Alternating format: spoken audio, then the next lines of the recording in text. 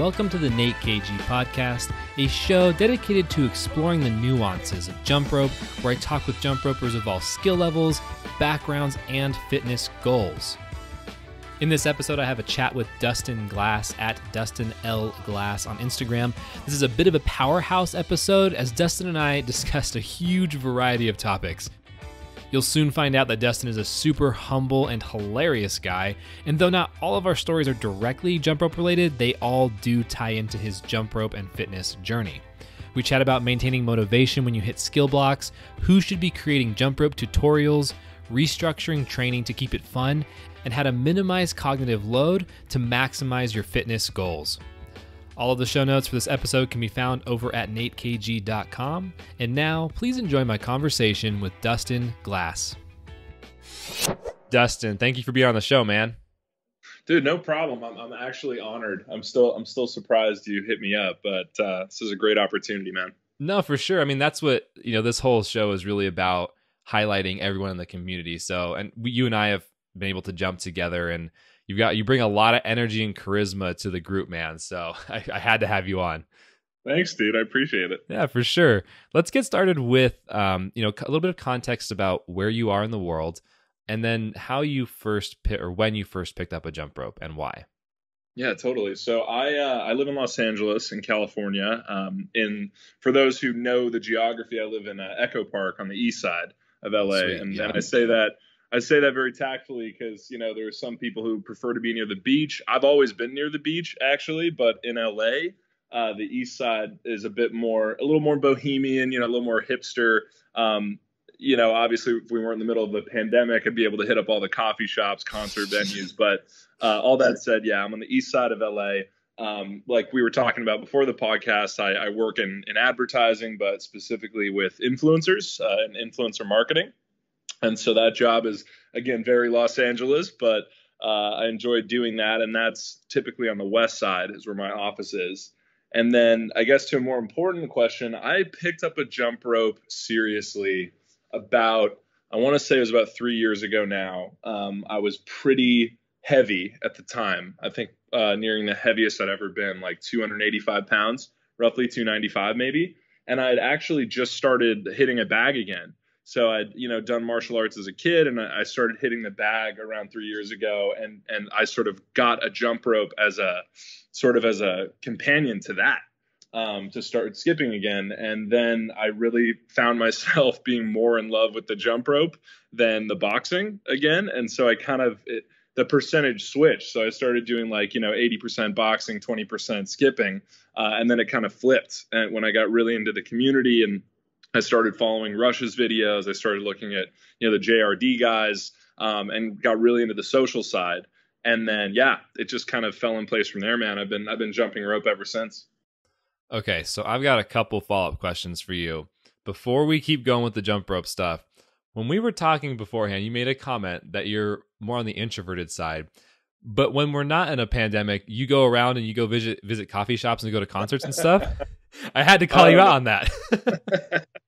All right, I will say this, man. I'm definitely an extroverted introvert. I guess what I I'm not an introvert. That's actually BS. I feel like I'll say this though, man. Is I think when I said that, I, I, just I suppose I'm not really into the the party scene um, of LA anymore. You know, I, I don't I, the club yeah. scene, the party scene. But dude, I love music. I love film. So I guess if I, I, do go out, but when I go out, it tends to be more of those subdued kind of activities. You know, I want to go to a coffee shop or a brewery, talk to my friends, but you know, or go to a show, right?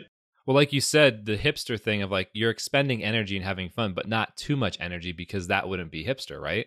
It wouldn't be hipster, dude. it would it would be so bro that it would cancel out any hipster uh, mentality.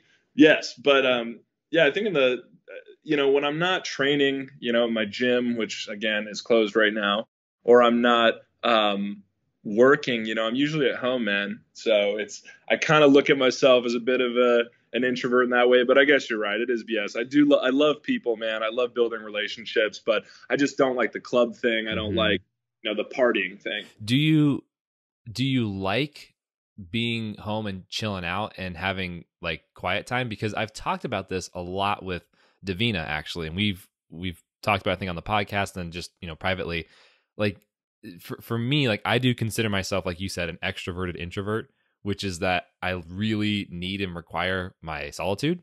But then there are times where I can go do extroverted things for a given period of time, but then I then need to recharge and chill out. Do you do you find yourself to be the same way?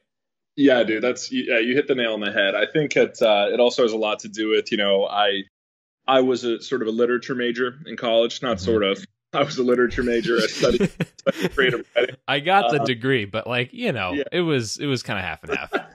I still feel guilty that I got to study that in college. You know, I don't know. While other people were learning to be engineers and doctors, um, all I did was read books. But um, on a serious note, man, I think that does have a it affects my disposition. You know, like I like being at home with a book. I like being at home, getting that recharge time. But again, the second you know my buddy Joe calls me, you know, we're on the phone wrapping it up for two hours. So yeah. I, I feel like you and I are very similar in that regard.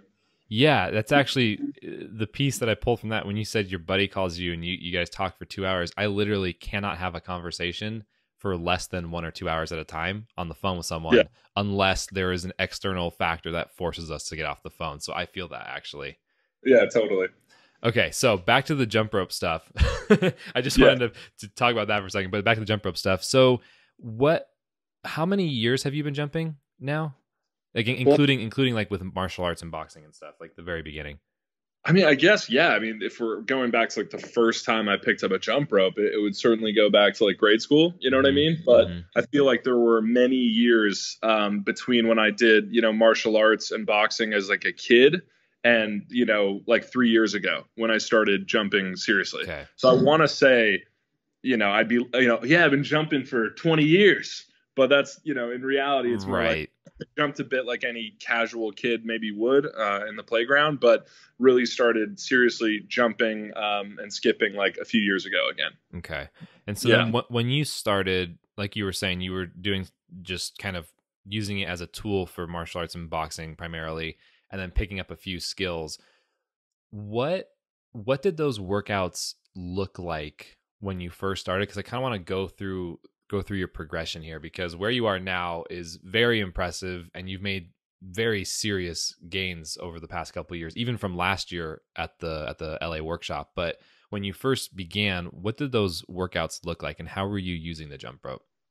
Oh dude it's so funny you asked this question too because I was just looking at um you know because I'm a fan of the Instagram as I feel a lot of us are in this oh, yeah. community uh, the IG I was looking at some like archive stories or like videos I shot from a few years ago. I was at my gym uh, at Barbell Brigade downtown, and I guess the workouts I was doing, man, it was like you know I I was really heavy at that point. You know, I'm still a pretty I'm a big guy relative to, to a lot of jumpers in the community.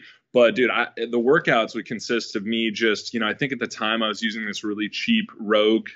Um, sorry, you can cut that out. really cheap non-branded jump rope that was wired. That's definitely staying in.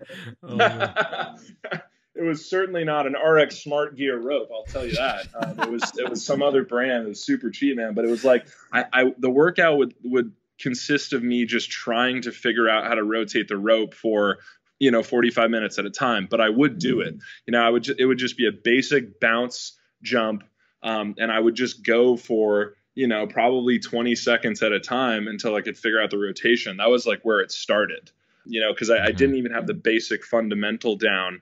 You know, after years of not jumping rope, it, it would just be me trying to figure out again the the rhythm uh, and bounce of jumping. And I wasn't really using a rope with great feedback. So as you know, and this is something you have even taught me before, is like it's it can be really tough for a beginner using like a wired rope uh, mm-hmm. to Absolutely. just figure out the basic movement. Um, I don't know if that answers the question, but that honestly, that's where the workout started. Yep. So you were literally just trying to get, literally get your feet and get your foundation. That makes sense. Yeah, straight up. What, you know, what kept you going through that? Because for a lot of people, I mean, it's obviously frustrating, but that frustration can be so tremendous. What, what kept you pushing through that? Dude, I think it would be, and I guess I'd relate this to fitness in general with the other training I do, but I, I did notice progression, you know, week to week, and that really that that's that kind of high that kept me going. But also, man, I, I can't lie, you know, I, I work in influencer marketing, so social media is a big part of my life, but I also enjoy the community, and and really this community you know, I started randomly following folks like you and Deck um, and Chris and other people who were just tagging each other. And uh, I kind of fell into the community that way. So like watching, it literally was Deck, dude. I hate, I, not hate to say it, I love to say it, but I would watch him even do crossovers or do his robot machine workout with just running in place jump roping. I'm like, this dude is like, how does this guy do that? You know, like I don't understand how he's so quick. And so it was really inspirational. And based on the the vibes of the community, you know, you have these people who I'd look at being like, I don't understand how that's possible with a rope, but then DM them or comment and then and then start a conversation. So it was it was very heartening uh, and inspiring to see people in the community who I thought were like superheroes with a jump rope to like, you know, have an exchange with them and, and bounce ideas off them. And that really kept me going. Um, in addition to like noticing improvement week to week. Mm-hmm. That's interesting. That connect. It seems like connection, uh, connection in the form of like f- fulfilling relationships is really important. I want to go back to your work stuff real quick and talk about your profession for a second because oh, yeah we were talking a little bit before this, and now I'm kind of kicking myself for not having recorded it. But I want to talk about your work, and we because we were chatting about meeting folks that have high follower counts, whether that's YouTube, Instagram, whatever. And can, so, can you tell me? I, I kind of want you to explain what we were chatting about. Yeah. Can you tell me about what your work is specifically, and kind of what you what you've learned um, meeting the the folks that you've met? Yeah, absolutely. So again, I work in influencer marketing for a, what we call a creative agency. So for those who aren't familiar with like the marketing world or the advertising world, brands come to an agency just like a, an actor would, right, to help you know help do things. I guess is the simplest way to put it. So if a massive brand doesn't understand how to market their product, they'll appeal to a creative agency to help design a strategy for marketing a product or an initiative. Uh, I work on the agency side, and our clients are those brands. But we we specifically help tailor campaigns targeted around influencers. So that's YouTubers, TikTokers, Instagrammers. Um, I help design the strategy for those brands, but mainly focus on the talent portion. So my whole career, you know, over the past five years has really um, revolved in a big way around developing relationships with with big YouTube celebrities, um, big digital creators on Instagram, in order to help um, bring them into the fold in an advertising campaign and create content for my brand clients. So you know, obviously, you rub shoulders with um, with smaller creators, developing creators, and you also rub shoulders with some of the biggest YouTubers in the world. And what we were talking about before is like you know the relationships I've built with some of these people I now consider true friends. Um, where other you know whereas other ones tend to be a little more bit more vapid and a little bit more like Hollywood LA kind of like yeah I know that person and and that kind of nepotism kind of vibe. Yeah. Um, but one thing that that you and I were talking about earlier that I really you know I, I think we share this quality is that I tend to focus my energy even in business on bringing work to creators that are um, you know, down to earth, uh, kind people, folks who will do a great job, but also um, they care about relationships just as much as I do. So I guess I, we were kind of discussing that, but you know, feel free to fill in the gaps if I'm forgetting something. No, that's exactly it. And it's the reason why I kind of wanted to bring that up is because when we first met about a year ago at a workshop that Mike Fry and I had hosted in LA, I had I was going around I like for whatever reason this really sticks out in my memory. I was going around the room and filming everyone to get you know hey if you want to be on the on film i can show you on the youtube video that's going to come out in a year from now. And, and, a year from now? Yeah right? Because i well because i filmed it then and I, the goal was to have it done in a month or two and then it a year later i finally posted I, I, thought the footage i thought the footage was lost to oblivion man. You hit me up and you were like yeah man that vlog's finally coming out. I was like oh yeah we did that workshop like 10 years ago. I know dude. I i can literally am the worst with putting out certain content. I also have a video that I shot with Chris when he was visiting me um, yeah. in San Diego. That's not out yet, but anyway, the point is, I'm going around the room and I'm I'm filming a couple different people, and when I come over to you, like you and I had never, like even at that moment, I put a camera in your face before I'd even said hi, which, like, looking back, is probably not the best way to introduce yourself to someone. um, but it was funny because the second that happened and we were talking, it was a very genuine and authentic exchange. And I could tell that, like, without specifically speaking about it, I could tell your focus about connection or your predisposition towards having a real human connection was there. And so it's interesting now that we're sitting down and, and really talking that there is this massive theme. It seems like everywhere that every in every uh, aspect of your life so far that what we're talking about that real connection is there. And it sounds that it makes a lot of sense to me why because that's your focus you would naturally gravitate towards jump rope or at least the community side of jump rope. Heck yeah man. I think um, no you're absolutely right. I it's it's funny because i try to you know I, have to give credence to like my family and the the way i was brought up and kind of um, the experiences i've had that have led to that outlook, you know. Mm-hmm. But I think even going back with my my mom and sort of her, she's she's a pretty lovely woman. This woman, she's like a, a like a rocker at heart, but also, you know, she found um, her grounding in like um, in spiritualism, right? She she literally this woman literally goes into houses and cleanses evil spirits. You know, that's my mom, but she's also loves ACDC and Barenaked Ladies. That's awesome. uh, yeah, she's she's a total rocker, man. She's great um, and and sort of her um, she reared me to to sort of be that way and to try to keep yourself open to to real connection and appreciates you know relationships uh, and communities that help um, you know fill your heart as opposed to take energy from you and so that learning that uh, from a young age and my, my father uh, in many ways is the same my grandparents the same but um, the experiences i've had have all have all sort of either come from that or I, I, lead with that. I guess is how I put it. Like you know, I after college, I I went and worked with Teach for America um, for a while, and actually was in San Diego. Nate, I don't know if we talked about that um, at all, no, but I yeah, I went and taught uh, middle school with Teach for America, and that was I think just a function of sort of that kind of same vibe. I was like, I wanted to do something. I wanted to give to a community and kind of foster relationships, but it did end up uh, turning out to be a really difficult experience. Um, but yeah, man, I, I think it's all about I think it's all about building connection, fostering those those true relationships because those are the ones that give back to you. Mm-hmm. And I've I've found that in the strength community, I've found that in this jump rope community, and again, man, the more you give, the more you get back in return. So it feels yeah, it feels like I found that in in this community for sure. So Man, okay. I have like three follow up questions to that. So this is gonna take a second to get through. But yeah. no, it's good. It's good though. I so what was it that was difficult about Teach for America? I would say quite a few things. You know, you um, and again, I think the experience is probably different for a lot of folks. But I, you know, I just graduated college. I you have to go through this intense boot camp. You know, at Loyola Marymount, it's sort of your teacher boot camp for three or four weeks. You know, I went and taught uh, at a school in South Central, and that alone is very difficult, right? But it's nothing compared to yeah. to teaching kids for a full day.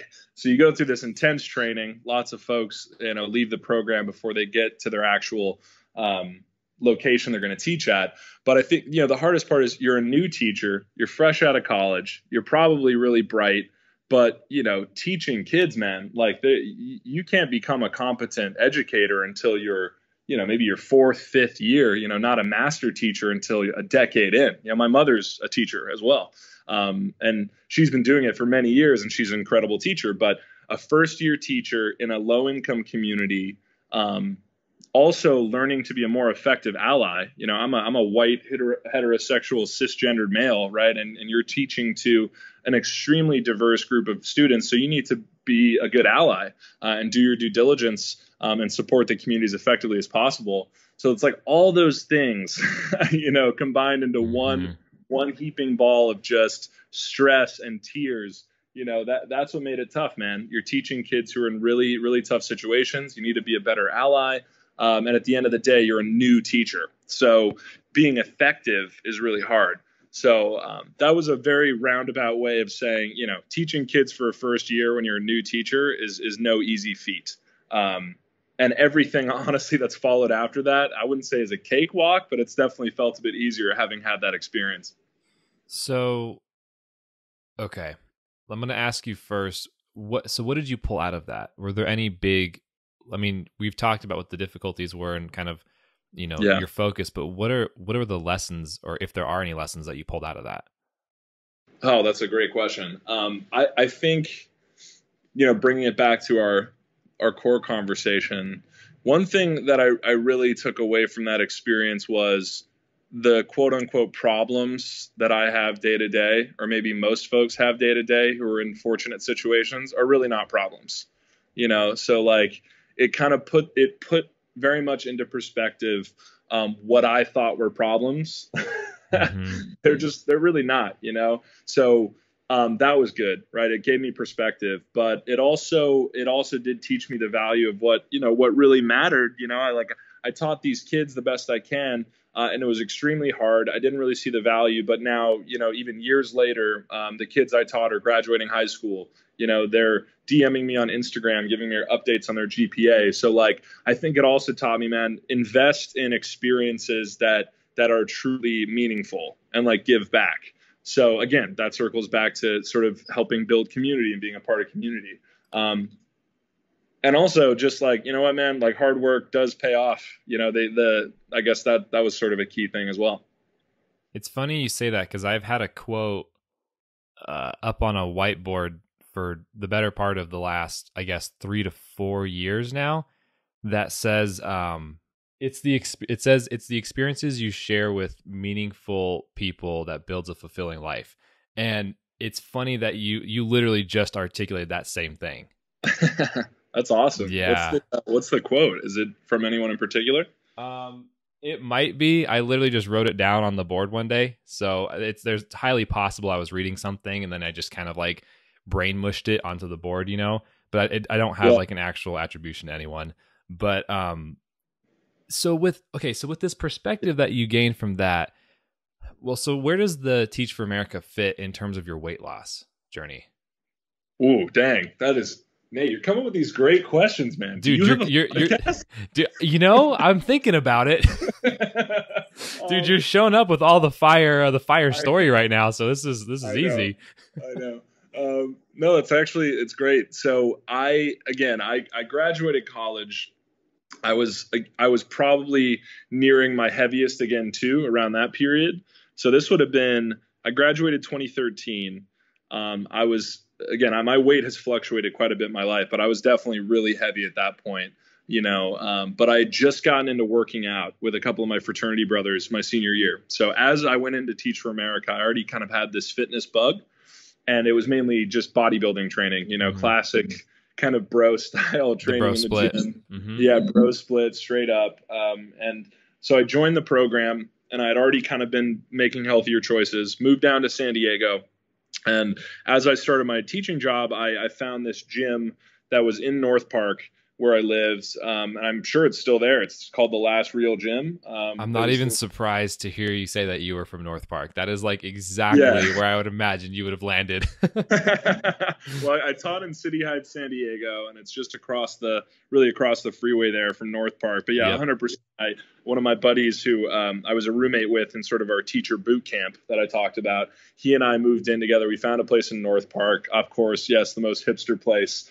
Um, but the gym, you know, was was unlike anything I'd seen up until that point. At least it, it was, you know, had had some power lifters in there, and it was this sort of anti-commercial gym, of course, in the most hipster part of North Park, right? The mess like that. But that's when I got into powerlifting, actually. So I, I started training with the folks there. Um, powerlifting and, and really the, the because the gym was just a block away i would walk there early early in the morning before i had to teach. And somehow I, I convinced myself that if i could just get up at 4.30 go train for an hour before i had to start my teaching day that i could like hold it together you know? And yep. and honestly when in hindsight i probably i probably should have scheduled that a little better so i could have been a better teacher. But yeah man i, I started training in powerlifting there. And went sort of three to four days a week, um, ended up competing in sort of their local amateur powerlifting competition. And that's kind of actually where I really got serious about fitness in general. So at that time, just I want to kind of paint a picture oh yeah of the context of your weight loss because a, a lot of so when you're doing powerlifting is this the period where you were still around your heaviest because it's it oh, seems yeah. like yeah okay so that that Yeah, weight yeah. then was a combination of um both muscle and non-muscle Yeah, at first it was just no muscle at all, just straight straight fat is what it felt like for a long time. When I Mhm. started powerlifting, I got the added benefit of some muscle growth, but um, and my weight fluctuated a bit, you know, over the year that I was teaching there. But yeah, I would say I was still pretty heavy. Um, and and honestly, after my commitment was done, I you know I came back to Los Angeles. And that's when I started training at Barbell Brigade downtown. You know, a lot of folks know this gym. They have a YouTube presence, but Mhm. I, I was still powerlifting. And you know that was also when i started my career in entertainment so i actually you know i lost a bit of weight when i first started training there you know this is years ago now i started training at barbell still powerlifting for the next couple years um, but but the weight kind of always really really fluctuated um, and then it wasn't you know i, I guess again I, I hit a you can see there's highs and lows in this weight loss journey. Uh, I've, I've had a problem with consistency but i think even you know my real most recent weight loss period was in the last you know two years the last year and a half where you know i was again at 285 295 but i i lost around 55 pounds. Um, and and so that i think i attribute a lot of that to to jump rope i really do it was um, being more cons- it's helped me be more consistent i guess is the long and short of it Okay, so yeah, there's a couple of really important things in there because, like you're saying, it's an up and down journey. That to me, Yeah. that to me is so important to highlight because that's how it goes. You're you're you're not. It's to me, it seems Mhm. like there are very very few case studies or examples of people who start their fitness journey and are, are and are on a linear path forward and Yeah. maintain that. I I honestly don't think there's ever been a straight linear path because that doesn't that's not how fitness works. But Right. it's interesting to hear that once the jump rope hit, that's when your consistency kicked in. What did that again trying trying to place things a little bit. The jump rope was that at the powerlifting gym in North Park or did that start at Barbell Brigade? Oh, that started at barbell. Yeah, Okay. yeah. So I, again, I didn't start jumping rope seriously. Yeah, man, I'm old. I feel like this timeline is too long. no, you're good. like, you just you're like, let me paint the narrative. I'm like going through my head. Damn, dude, you're like 30. Uh, anyway, no, uh, dude. It, it means it just means that you've had a very active and exciting life. You gotta think of it that way. You've done a lot of cool things. I'm a, thank you, Nate. Thank you. I'm an adventurer, as it were. Yes. Um, but no, yeah. So I mean, I again, I, there's yeah, the few year gap in between, you know, when I started jumping rope again was sort of after Teach for America, um, you know, and sort of when I came back to Los Angeles. But again, yeah, I, I was training at barbell basically from the moment I got back from TFA, which I guess would have been 2014, 2015 in that range. Um, but again, didn't start. I guess I really didn't start jumping rope until like 2018 now. So Um, why why did you put weight on during that time period? If you're if you're okay with sharing that, because I'm if Oh, it's yeah. cool, because I, I would like to put some context around that, just for.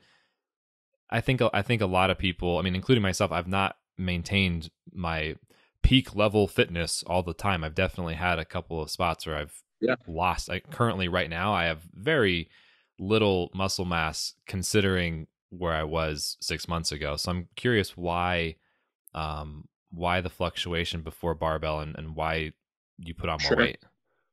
I I think it's obviously, as it usually is, is a number of contributing factors, but um, some key ones. I I love to eat food, uh, and you know I know people say that because we all love to eat food. I really love food, man. Like I, Like you are legitimate, the epitome of foodster hipster. oh yeah, I am a complete hipster. I, I used to think I wasn't, but when you look at the big beard and the the you know the geolocation and the love of food and, and microbrewery, I guess I'm pretty damn hipster.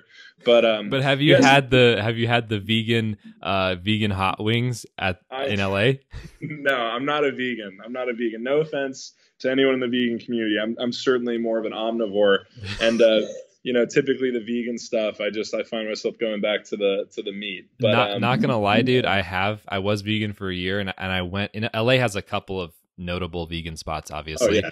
and I had gone, and there is one spot I forget where it is, but there is one spot that has um basically like little chicken wings, but they're vegan, and I'm dude, not even kidding. Huh. They're legitimately really really tasty. It's not chicken. Yeah. Um, there's a there's a difference in the texture, but the texture still is very good. So Listen, man, worth checking out. But anyway, sorry, you were t- you were talking about how you're a foodster. oh yeah, yeah. So no, I'm just saying, like you know, I have a love of food. You know, I was raised with a love of food. So during that period where there was a lot of weight gain, man, I think it was a combination of that love of food and really not not really tracking um, a healthy diet. You know, I wasn't eating McDonald's every day, but you know there was a period there where i was eating a lot of fast food. I was eating big quantities of food and i was powerlifting.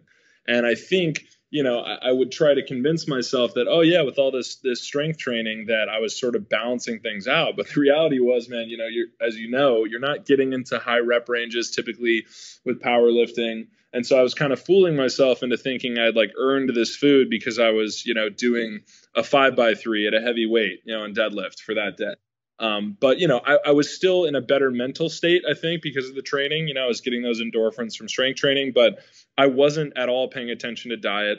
I wasn't doing any cardio.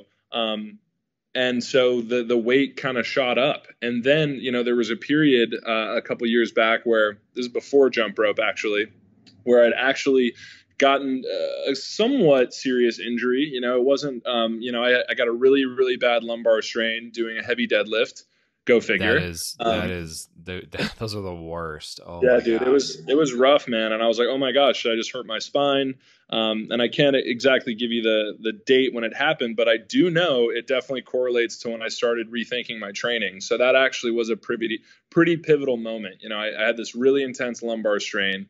I sat back and was like, what the hell am I doing? You know, I wasn't, it wasn't like I was training for comps, you know, like a lot of my, um, or meets, like a lot of my, uh, friends at Barbell were. You know, I was just kind of messing around with with powerlifting. So I'm like, okay, I'm going heavy. I'm hurting myself. I'm getting bigger. What am I doing? And then that kind of, I think that was the moment a few years back where um, I said maybe I need to rethink my training and kind of develop a new thing. And that's when I sort of started slowly um, boxing a little bit again. And by that I mean hitting the bag. You know, um, I have a friend at the gym who you know threw some pads on a couple times, and then I found skipping. And so I, I stopped strict powerlifting and I moved into more of a um, kind of cross training vibe with uh, the emphasis a lot on jump rope and learning that skill. That's really cool. I, I it's cool to hear the pivots and the shifts because I feel like for a lot of folks that are new to fitness or maybe they do mostly jump rope fitness and haven't explored other other ways to work out it can seem very once you find this thing that works, you just stick with the way it's working and then it's all good. But there's yeah. always a way to recontextualize the same workout. There's always a way to kind of shift and move forward like you did, um, which is really cool. You, you mentioned before too that the strength community is very connected and is very uh, also a very wholesome community. Are there similarities between that one, that strength community, between the strength community and the jump rope community? One one thousand percent, um, and that's I think why I keep gravitating towards both communities. You know, is uh, I think one of the first shocking things I found out about the powerlifting community or the strength community is that they are just as, if not more, nerdy than uh, us in the jump rope community. and I say that, and obviously, man, I don't use a nerd as a pejorative term ever. I've been a nerd my whole life, and it's it's definitely a compliment, right? By that I mean people care as you know so passionately yeah. that it oozes out of them. That's the nerddom I'm talking yeah. about. So like at Barbell Brigade, you have, and dude, it is so humbling. You have athletes who are you know like what feels like a quarter of my body weight lifting triple theirs, you know, and you have That's but insane. Yeah, dude, it's like these crazy athletes who are training seriously for meets, but they never you know, um, turn away if you have a question. Obviously, if someone's in a heated training session, don't bother them. You know, lifting right. 405 on your back, you know, it can be scary, but but they are always welcome for advice and conversation and trading training videos. And you know, again, the Instagram community is really big for strength as well. Um, and again, there are exceptions. You know, I think we'll find people in, in any area of the fitness community that might not be as warm or welcoming. And I tend to kind of gravitate away from those people. But I think by and large, uh, powerlifting, strongman, jump rope, all these folks who are passionate nerds, they tend to be really cool and kind. Um, and and have a desire to impart what they've learned so other people can grow. And that's just, dude, that's so badass. I, I just even talking about this with you makes me feel like you know reminds me I'm on the right path with the right people. Um, yeah. But yeah, the, that that same shared kind of vision of helping each other out, it feels it feels present across both communities. That's yeah, I literally have nothing to add to that because that's literally a perfect explanation of all that. That's really cool. What so you you spent a lot of time obviously really dialing in your fitness and reworking it to something that is livable long term.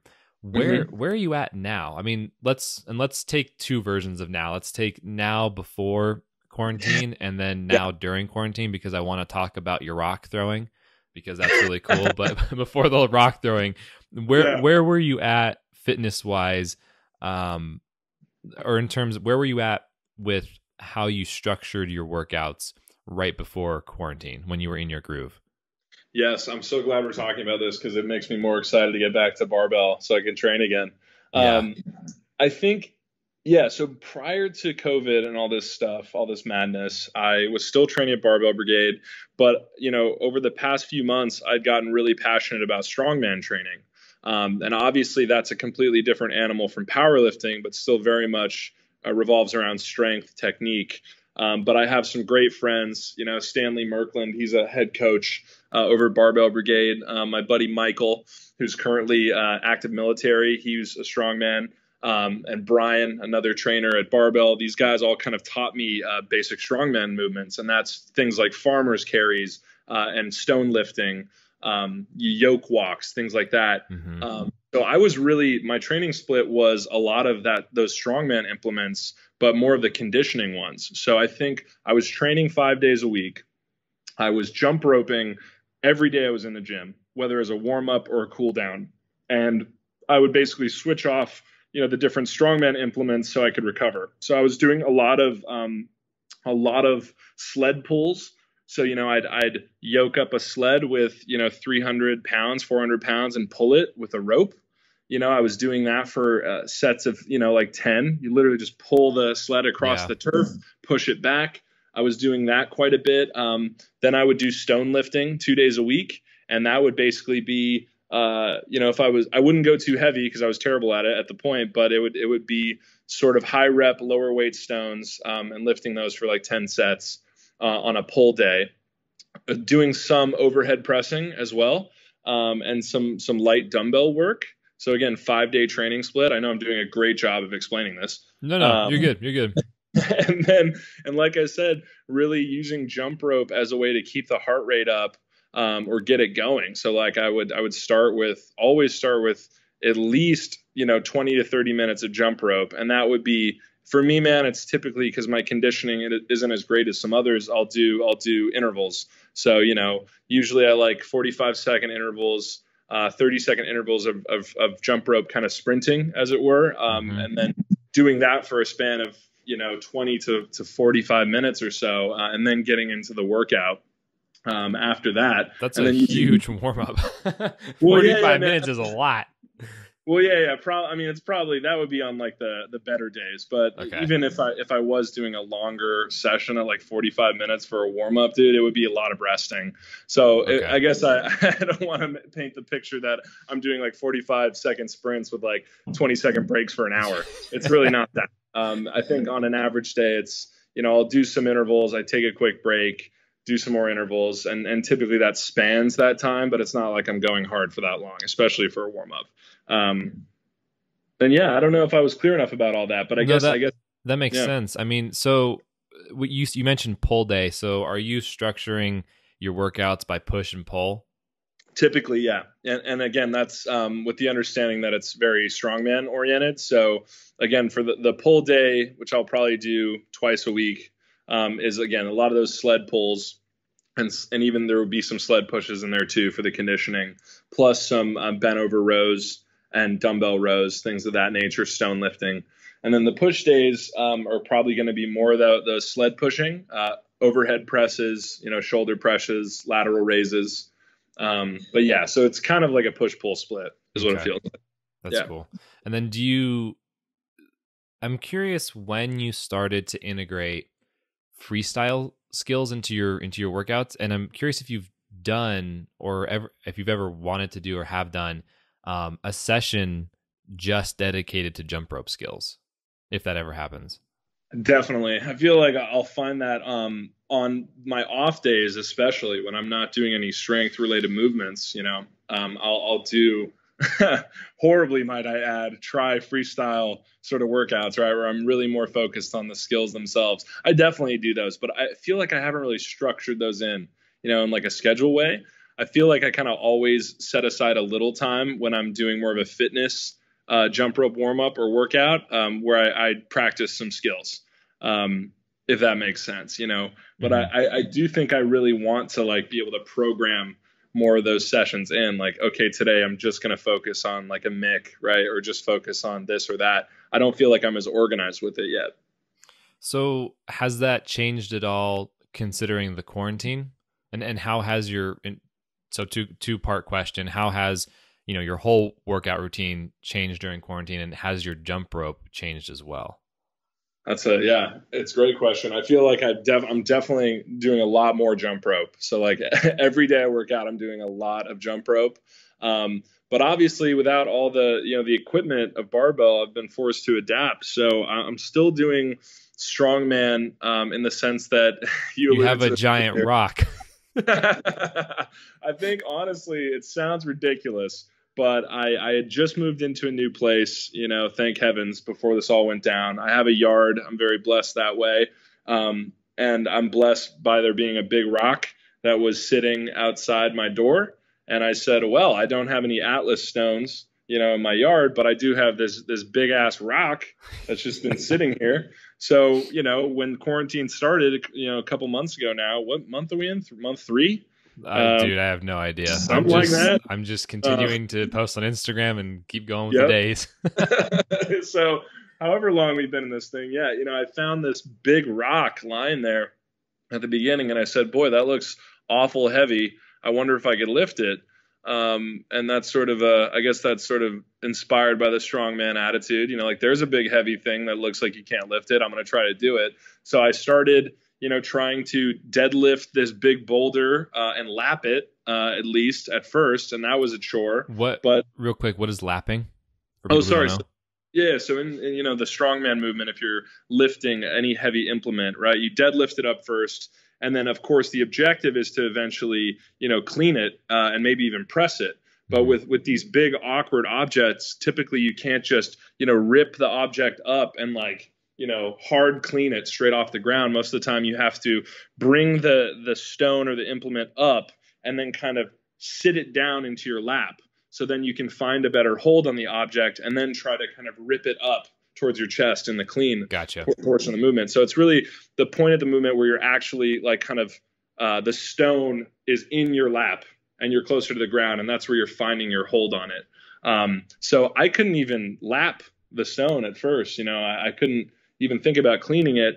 But eventually, you know, I sort of structured my training around that. So a few days a week in quarantine, I was really just going outside trying to deadlift this boulder, lap it, and then eventually clean and press it. Um, and you know, I'm happy to say now it's I'm to the point where the movement is really not awkward. And um, so a few days a week, I go out there and and I do quite a few sets of just just practicing picking up the boulder, cleaning it, pressing it. Um, I've also used the boulder to squat before. It's really? actually yeah, yeah, it's really awkward, and I've only done it a couple times. But what I'll do is I'll shoulder the stone. So instead of you know bringing it to like a front rack to where you're going to press it, you sort of clean the stone up and just shift it over onto your your shoulder, and then squat down from there.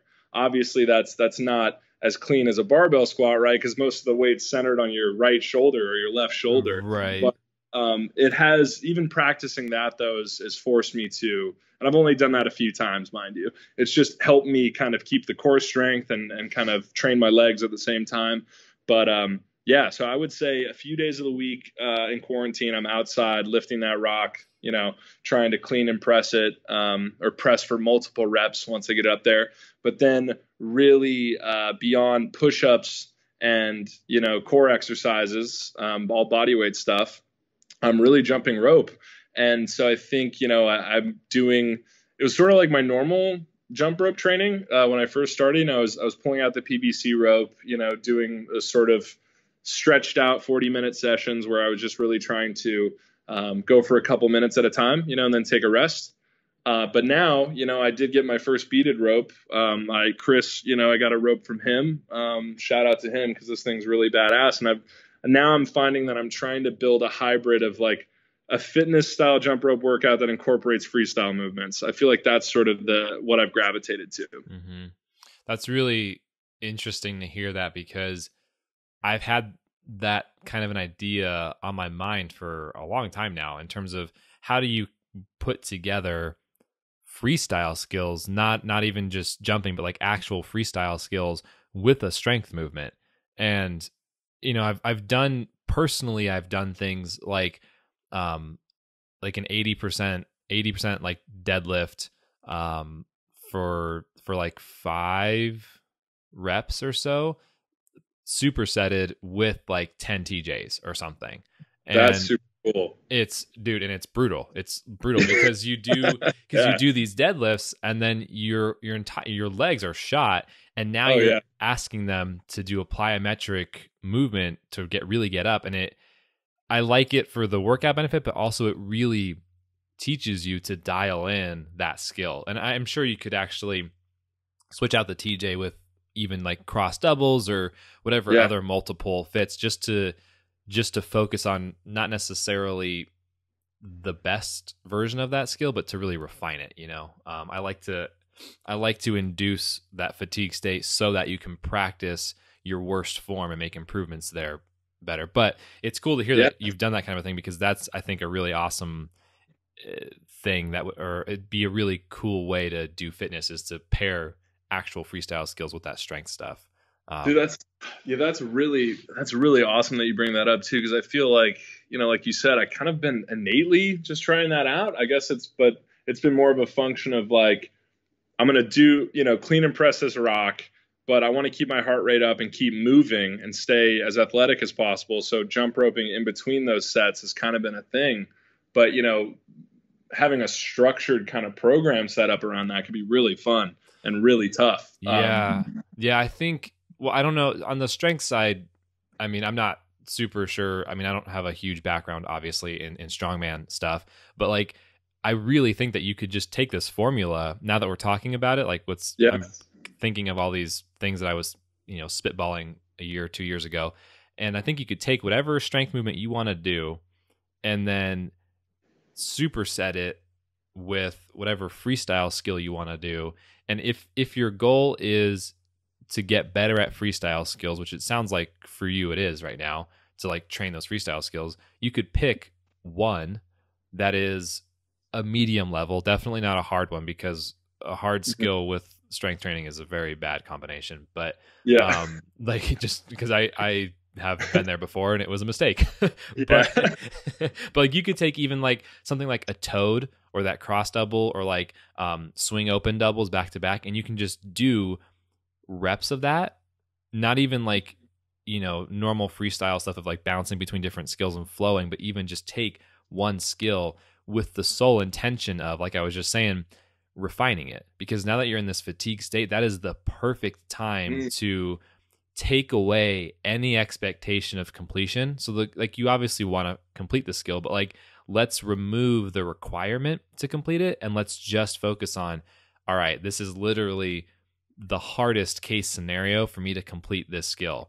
Let's focus on getting my knee up a little bit higher in the toad. Let's keep my chest up. Let's make sure I do XYZ things. And now you don't have to make every skill. It's a bonus if you do, but you don't have to make it, but you're keeping your heart rate up by attempting it over and over and over but you're only making one tiny little tweak or, or a couple small form adjustments while you're doing it. So for me, cognitively, I like that focus because now you're you're not getting into a routine. You're like engaging your mind, but not as much body. But you're still keeping the heart rate up enough, if that makes sense. Oh, dude, 100%. And actually, you're keying in on one of the things I really enjoy the most about jump rope is that, you know, I mentioned, oh, you know, I, I want to stay athletic and move. And I think, like I said, that's why I moved away from a strict squat, bench, deadlift kind of powerlifting style training to more of a strongman um, style that, that incorporates a lot of conditioning and athletic movement. Um, And with jump rope, dude, you said that that notion of the cognitive stress, which has been so crucial for me too, because I feel like ever since I've started jumping rope, like I'm not lying here, I feel sharper uh, in terms of my movement, right? Because it just it really does. I don't need to explain this to you. Train your brain and yeah. um, you know your coordination. You know, you have this crazy momentum of a rope, and you're trying to focus on on crossing it over and jumping up. It's just this wild tool that that is really kind of sharp in my mind. And to have that paired with something that people think is just this brute, you know, strength, which it's not, by the way. Uh, it requires a lot of coordination, but but com, you know, jump rope is definitely more elegant and requires a lot more finesse sometimes than than just yoking up a rock, right? Right. Um, I would argue that if you're doing it effectively, there is a lot of finesse uh, involved in in lifting something up and pressing over your head. But you know, you can get away with, I think, kind of fudging it a little bit, right? And just like just ripping that thing off the ground. With jump rope, dude, I think a lot of the times it's really less forgiving, man. If your foot placement's off bam, whack in the toe. If you know, yeah, don't come real. over just right, whack in the back of the ear, dude, or the back of the, the Achilles tendon. I've been hit in so many strange places with a jump rope, just because if you don't focus, man, it it it makes you pay, and that's kind of um, it keeps you sharp. It makes you think, and I, I, really do appreciate that. Not getting whipped, obviously. I don't appreciate that part. That sucks. but uh, you know, hey, pay attention more. No, for real. no, I got you. It, it's funny you mentioned that. Like, this is there are several things with jump rope that like I innately know, but it bugs me so much that I don't have a scientific answer for, and like. that is one of the things where like I know I mean the brain has its kind of two different ways of working, right? There's like this creative side, and then there's like this organized discipline side, left brain, right brain. And mm. there's a lot to be said about motor skills and how motor skills with both sides of the body, how those play together. And um, I was speaking with, oh man, it's escaping me. I, I think I was speaking with Adrienn Banhegyi. And if it's the wrong person, I do apologize. But I think it was Adrienn who's um, one or both of her parents worked with um, kids that required um, special special mm-hmm. teaching because and so, something with the jump rope. I think what she was saying. I I do need to review this, but her parents were using the jump rope as a tool to help the kids cognitively because they needed um, boosted teaching uh, help. And wow. so yeah, and and they're they I know like I know for a fact that the jump rope engages the mind, I think, on all fronts. I don't have a scientific explanation for it yet, but I really want to find out. Dude, that would not surprise me though in the slightest. It would not because again, like that that um when I'm like, I guess I don't know, man. We say freestyle. Obviously, my repertoire of, of movements and tricks is is you know it's very um, beginner for in my mind. Um, you know, but I feel like this this the improvisation involved when you're really flowing you know i really like that part about jump rope is obviously so creative and it's expressive. And like you said it's this kind of duality you know because you're also having to force on the more technical side. But i can imagine that that for some learners you know especially a jump rope might really really benefit them. Um, even in terms of memorization too i think there's stuff with jump rope and the kind of beat uh, and the timing required that it helps with things like like you know memory. Um, but again, it, it's very yeah, it's very similar to music in that sense. Yeah, you know, because because the rhythm the rhythm piece is there, and you're yeah, dude, you are you're 100 percent right. But I think an important point too, just to just to put an asterisk on, like when you when you say you know your freestyle skills, you know, are beginner level. Like also, it's important for people to know that while there is a massive, massive world of skills that are possible to complete, mm-hmm. you know you your fitness is your fitness and it's your you have your own goals and so i just would i just want to make sure that people don't take like you know the way i do freestyle is not the best mm. or the right way like the word best and right and like there's no valence attribution here it's really that there's these resources available to every jump roper and the more they're exposed and have context they can then tailor their workouts as you're doing you know and as yeah. you have done and and as you continue to do with freestyle like you it sounds like you continue to be inspired by different skills and find new ways to integrate it into what you're doing and that's kind of the foundation of my philosophy with jumping is not that you have to jump efficiently and not that you have to uh, aspire to be like a competitive jump roper, but that yeah. With if I give you the foundation of here's here is efficient jump roping, here's what these skills do look like, here's what the things that are possible, you can then cherry pick what you want and apply it in the way that fits you the best you know? See and that's why nate that's why jump rope community is awesome and that's why you're awesome because I, I give you one shred of self-doubt and bam you answer right back like dude you're doing awesome your style's incredible and i feel good again well um, it's but it's it's important though and like it yeah. really and and i know it it's it's funny but it's also it seems so silly to make such a such a fuss about yeah. such a seems like trivial because we're just having this conversation, but there are so many people. The reason why I bring it up and the, the background for me why it's important is because I see so many folks um, who come to me with questions that because they learned a certain way within a context that did not include all skills or was they learned in a context that was only focused on one style, mm-hmm. they it's for so many people for the majority of people, they they do want to learn more than just one small context. But the problem with learning in that small context and then moving out of there into other skills, whether that's competitive or otherwise, you know, it doesn't really doesn't really matter if they're moving out of that. There are certain principles that are not known that then in, uh, prohibit them from learning new skills um, quickly. And hmm. when I say quickly, I mean a lot of people have to go back and redo a lot of their fundamentals in terms of side swings. I know I've talked a lot about side swings. I don't hate side yeah. swings, but the side swings are one of the biggest um, culprits of misunderstanding in jump rope because a lot of people don't jump on a side swing and you don't have to. But if you don't understand yeah. that you're not jumping or that if you don't understand that you're finishing your skills into a swing, when you move into skills like a toad or or double under side swings or all these different styles and you see someone on Instagram and you see their style and you're like wow I want to do that I'm inspired yeah. that's cool and then both sides of that party once they engage in a conversation fail to recognize the side swing issue there's a lot of frustration for that person and it can I've seen it really result in a lot of self-doubt or like lowering confidence in the skill when in reality it falls on the coaches in the community, not on that mm-hmm. athlete. And so that that's kind of the reason why I make a big deal out of it is because though it seems so small, it has this really subtle but powerful effect of making it not only more difficult for people but removing pieces of joy.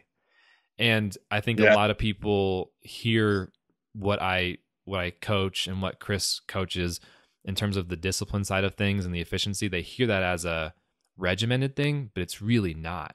It's more of here is, you know, if you go to gymnastics, they don't say throw a backflip.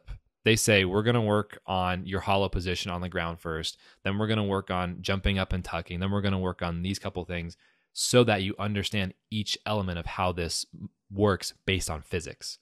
Now, it seems like overkill, but once you've got that skill locked down, you understand those principles, it applies to so like your hollow position applies to your handstand. And if you can learn how to rotate backwards, similar things apply to rotating forwards. And, and the same thing applies to jump rope. So it's it is more effort up front, but then once you've hit that threshold of learning those initial skills and, and techniques and principles, the downhill is so much easier and allows people to just navigate in between different styles, you know? So now I've really gone off on a tangent now, but that that no, is that, that's dude, why that's this, important.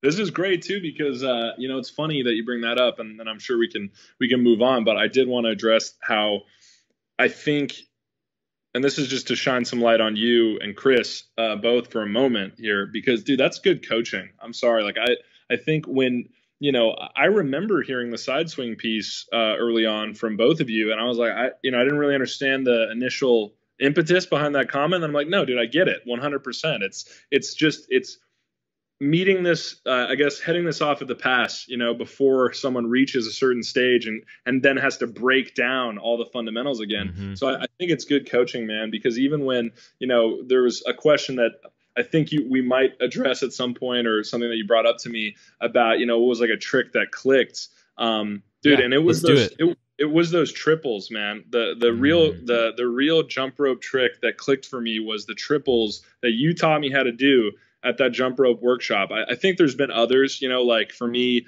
double under crosses were really cool. Mm-hmm. Um, I was really excited to get that. Again, I was still pretty big when I learned that trick, so being able to bound up consistently. But the triples, man, you you at one point were like, "Yo, bound up higher during your double unders." I was like, "Okay," you know, like sure. And then you know you obviously realize that that's the fundamental starting point, so you can get enough height. You know, the elevate then rotate thing you always talk about, man. That stuck with me big time. Like just that slower bounding uh, on your doubles to kind of train yourself to hit the triple. That for me, man, that clicked so hard at that workshop and it makes me think of this whole side swing discussion that you know the, if you train yourself to do the fundamentals properly it, it, gives you an easier time when you go to the more advanced tricks like dude literally at that point i had not hit consistent triple unders ever and then at the workshop i think i hit like six or seven and that was a result i think of good coaching of, of you giving that great feedback of like dude you just need to focus on bounding up a little more during those double unders and then when you go for that you know third rotation uh, when you're trying triples, it'll be a lot easier. And it really was, man. It was. Um, so again, hats off to you and, and folks like you and Chris who kind of teach those fundamentals, no matter how, how tough it may be for the athlete, because uh, that was clutch, dude. That was a really exciting time for me.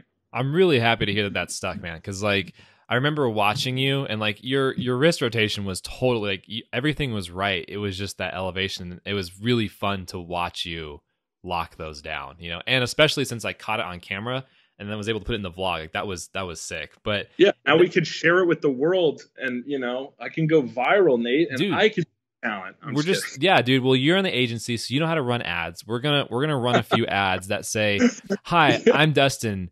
I'm the best, and I can do triple unders." And now everyone, I mean, you you have access to resources, so I would imagine you could get like you know most people in the world to see that video you know because that's how it works right I think you're right. I think you're absolutely right. There's not a hint of sarcasm, by the way, folks, uh, at home. Um, but yeah, man, seriously, I, I do, I did want to highlight because that was really exciting. Um, and uh, again, I think it goes back to that learning really core fundamentals and kind of, te- you know, learning the taking the benefit of coaches like you and, learning those secrets ahead of time before it's too late and you have to mm-hmm. kind of go all the way back and kind of retrain your brain you know like for right now dude i'm telling you right now i completely understand the side swing um, issue because i deal with that now i'm like oh i get it now i understand what they meant right and now mm. i'm sort of i'm struggling a little more with um, like multiples i guess because i'm, I'm so used to you know i'm not used to doing that jump the the jumping during the side swing mm-hmm. you know and mm-hmm. going into the next double so um, it's definitely something I take to heart, man, and it's it's really great advice. And and yeah, and the important part of that too is like, you know, with the elevate before rotate, which is te- that's a term from RX Smart Gear. Like Dave Newman spent ten years working on that, which is why that's mm-hmm. so dialed in, is because he put in a lot of effort there. Oh yeah, like that. Yeah, but so the thing with like elevate before rotate and with these side swings is that I think so many people get that confused with this is the way to do it always. And that is not the case because you this is a perfect example right now taking your side swings as as a case study. You are now trying to do I would imagine swing open doubles and swing open open triples yeah. and like these different multiple under skills that involve swings, but you also I would imagine are doing your normal flow that does not involve jumping on a side swing because yeah. that's fun for you, you know? and this is this is the scenario where let's really strip it down to just physics and let's take away the context of everything in the sport. If you know how to rotate this apparatus in the air while you're propelling yourself off the ground, you have two forms of exertion. You're the bound and the rotation of the apparatus if we remove one of those, we've now taken the effort for all intents and purposes in half, right? We've removed one out of two. You're now doing half the effort, and now all you're doing is rotating the apparatus while you stay stationary on the ground.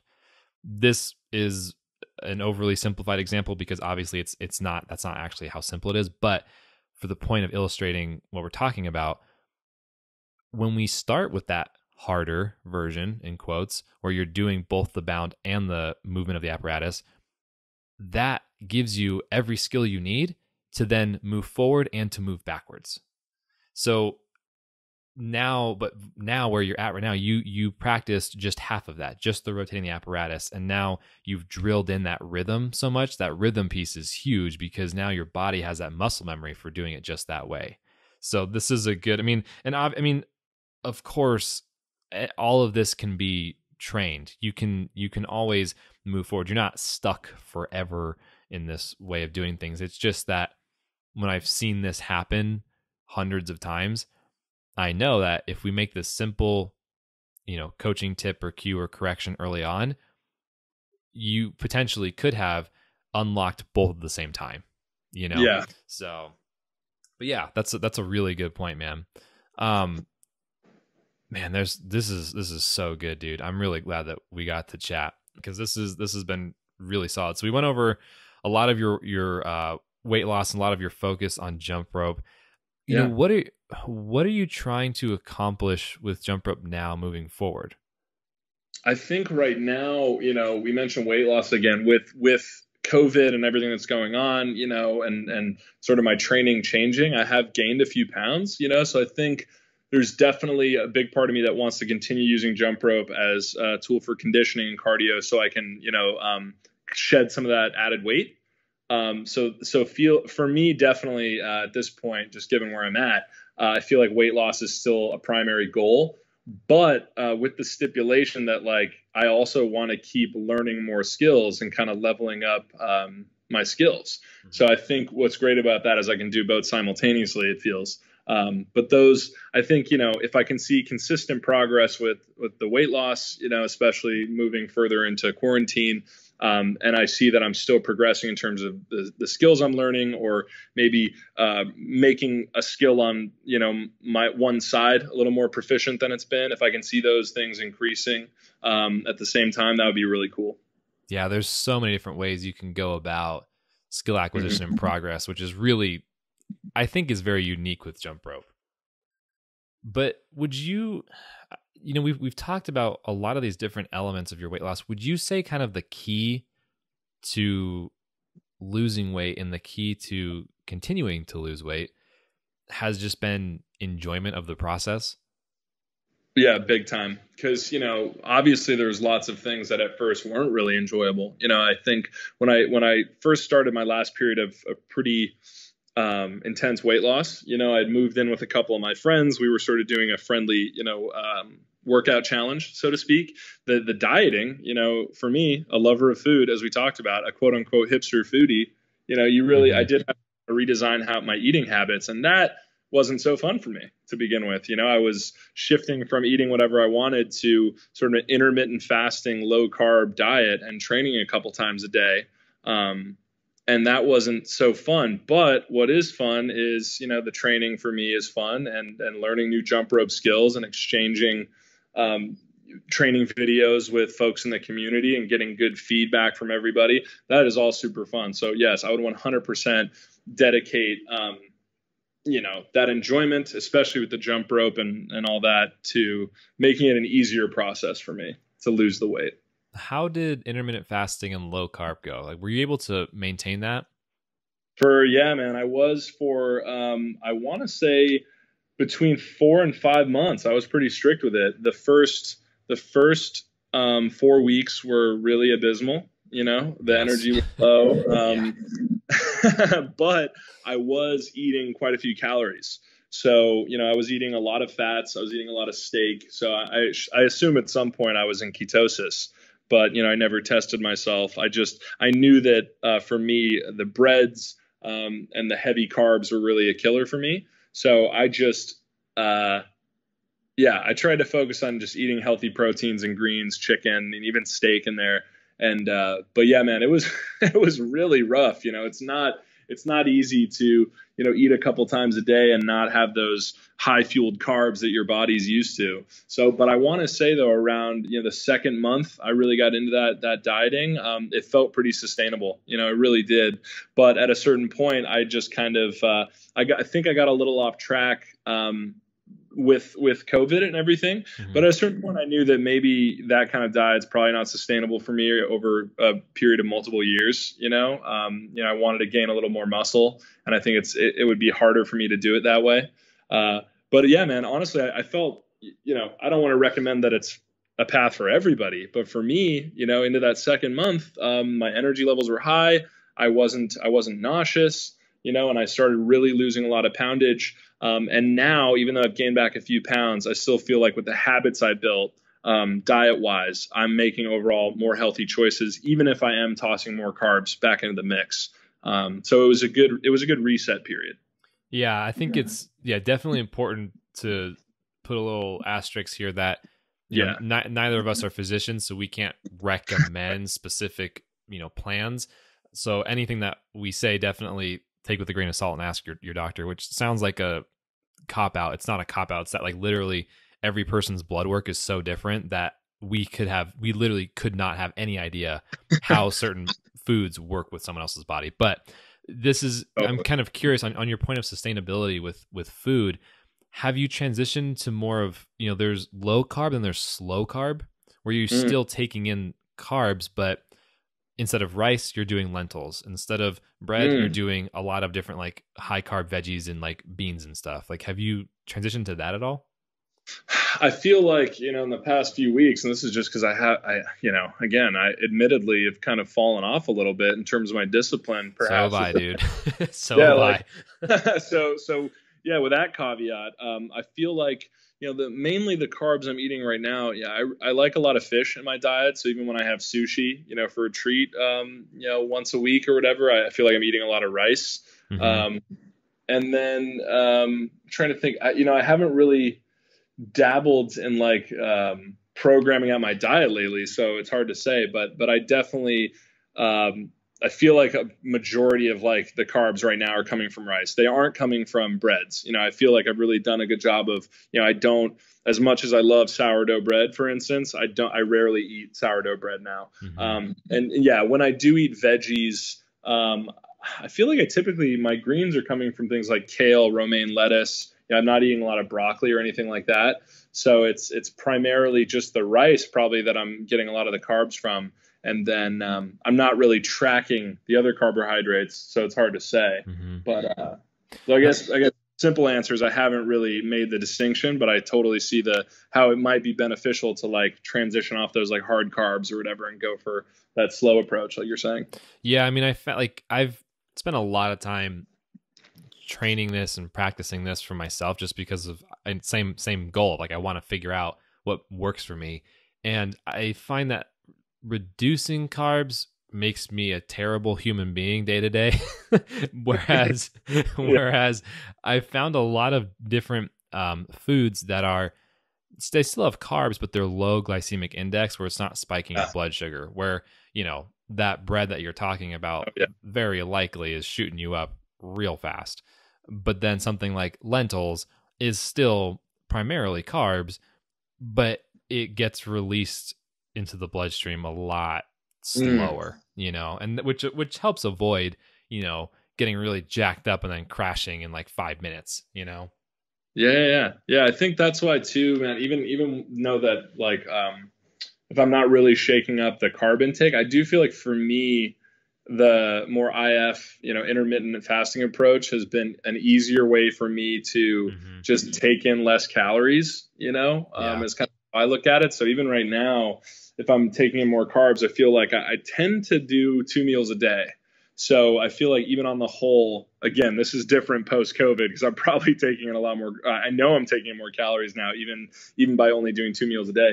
But that has been an effective way for me to kind of just not eat as much throughout the day. Because typically when I sit down for a meal, I'm probably eating, you know, uh, I'm overshooting on calories for that particular meal. So if I cut one out entirely, um, I find that my energy's fine. For me personally, I, I fast between when I go to bed and like lunchtime. So, um, it's just been it's been a simple way for me personally to to kind of just limit that caloric intake um, without having to mess a lot with the rest of my diet. Mm-hmm.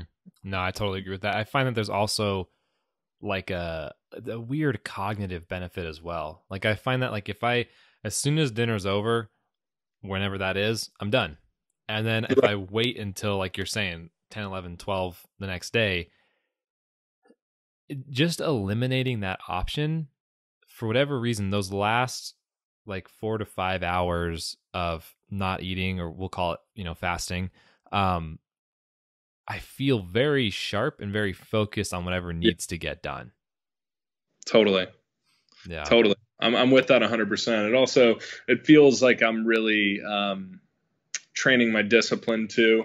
I mean, I know there's there's definitely research I've heard and, and read about. There's there's anti-aging properties too, and you know you refrain from eating and all that good stuff. But just for me, even the like you said, the basic feeling of I feel a little bit sharper throughout the day because maybe my body's not so focused on digesting the food I've been grazing on for 12 hours. Yeah, you know? for real. You know, it's my body and my mind are focused on other things. So yeah, it's definitely something I want to get more serious about again. And I think um uh, on the 27th, I'm actually going to give a shot at a, a meal service um, for the first time. I know it's a little pricier, but I just wanted to try out kind of how that might help my fitness goals. So I'll report back on that. Um, I'm not sure if I've ever done anything like that before. I mean, I usually love cooking, so it's not something I've considered, but just being in, in quarantine and having a lot of work going on, I wanted to give that a shot uh, and see if that can kind of help stabilize the diet a little bit more and um, help me kind of push through the threshold again. So yeah. I'll let you know how that goes for sure. Sweet. Yeah. I've had one of my really close friends has done that for a while and he really enjoyed it. Um, oh. he, he's had a lot of, he really likes it. And I think he's used a couple different services. I think the general feedback has been by and large really great. Mm-hmm. The only caveat, caveat is sometimes that like the meals can be a little bit on the the smaller side for him.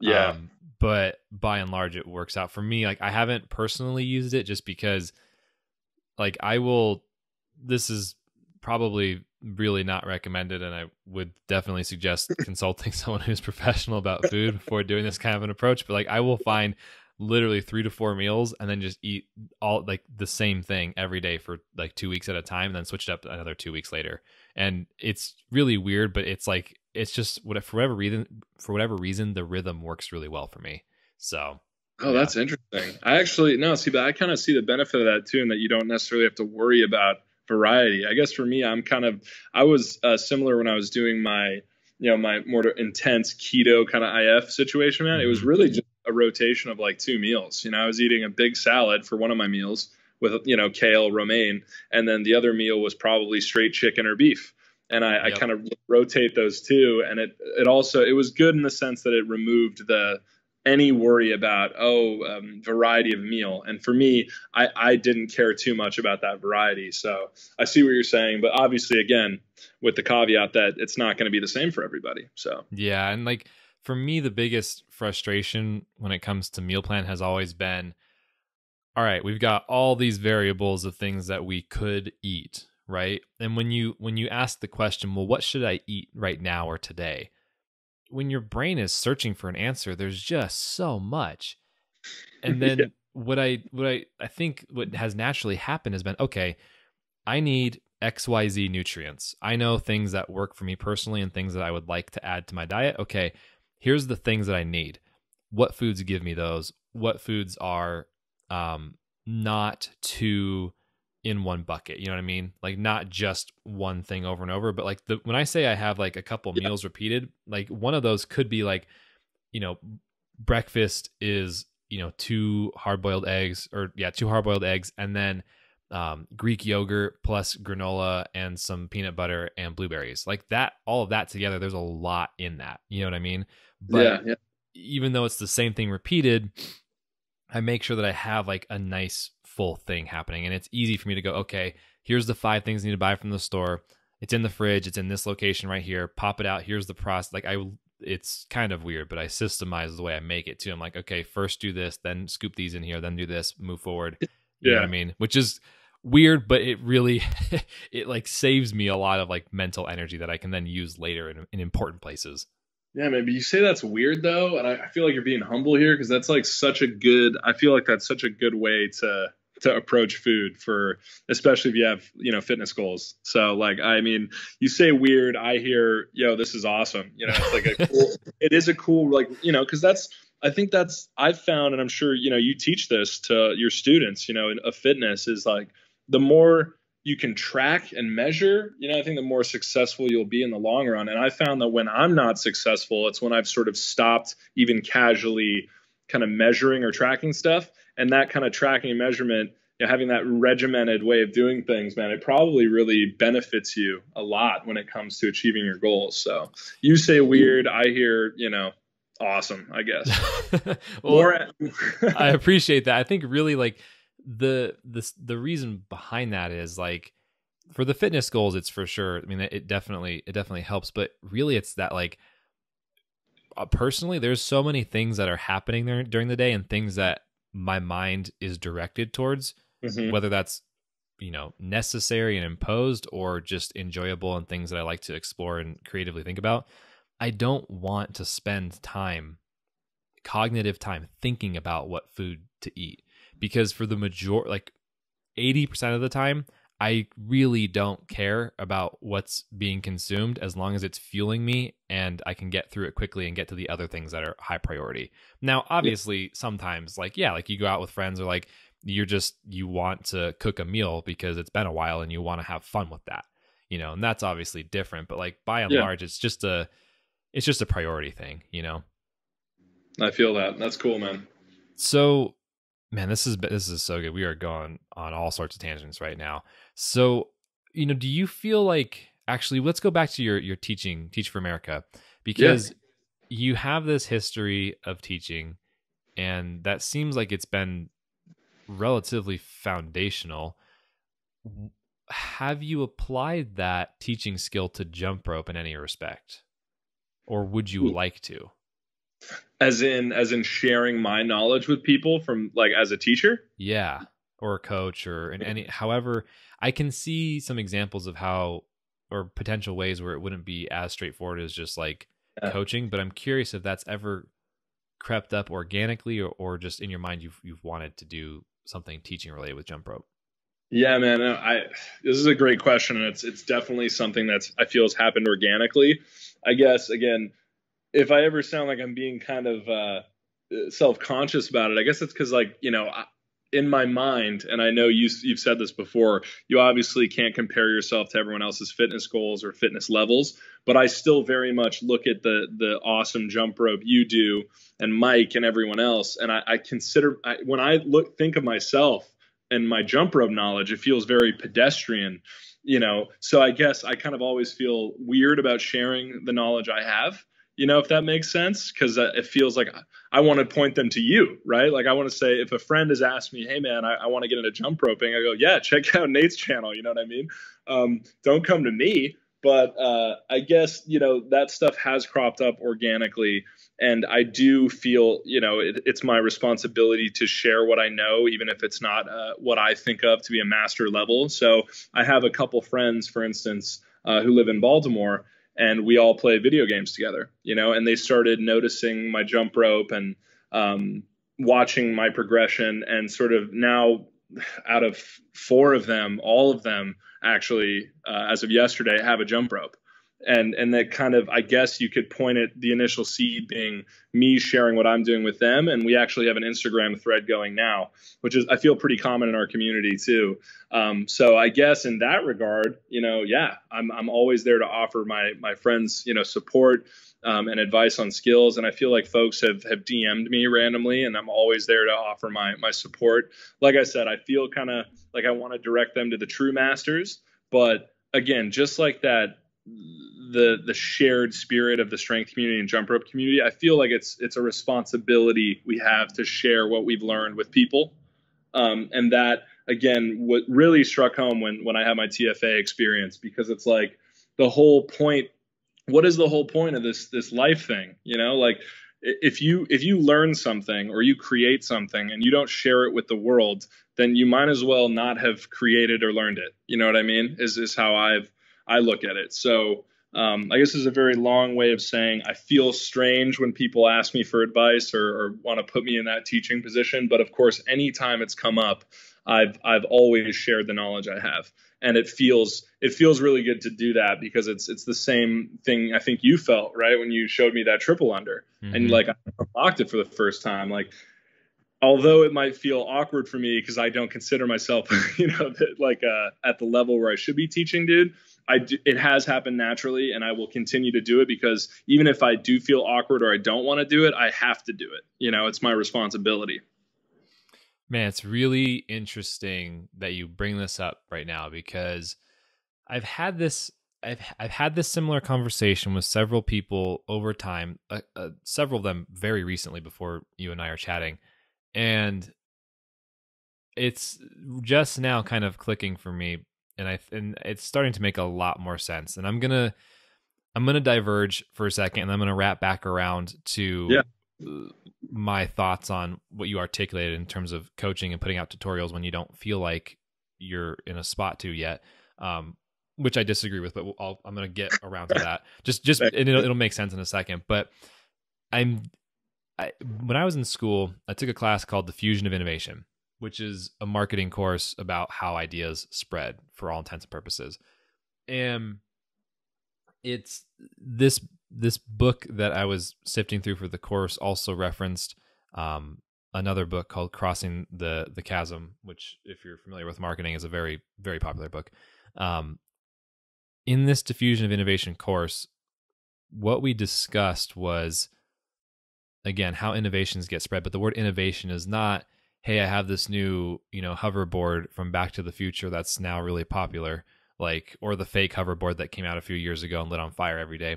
It, we're, what we're talking about is like something as simple as a new I think the example from the book was a seed that a farmer used that was a successful seed, literally a plant that grew and had very fruitful crops.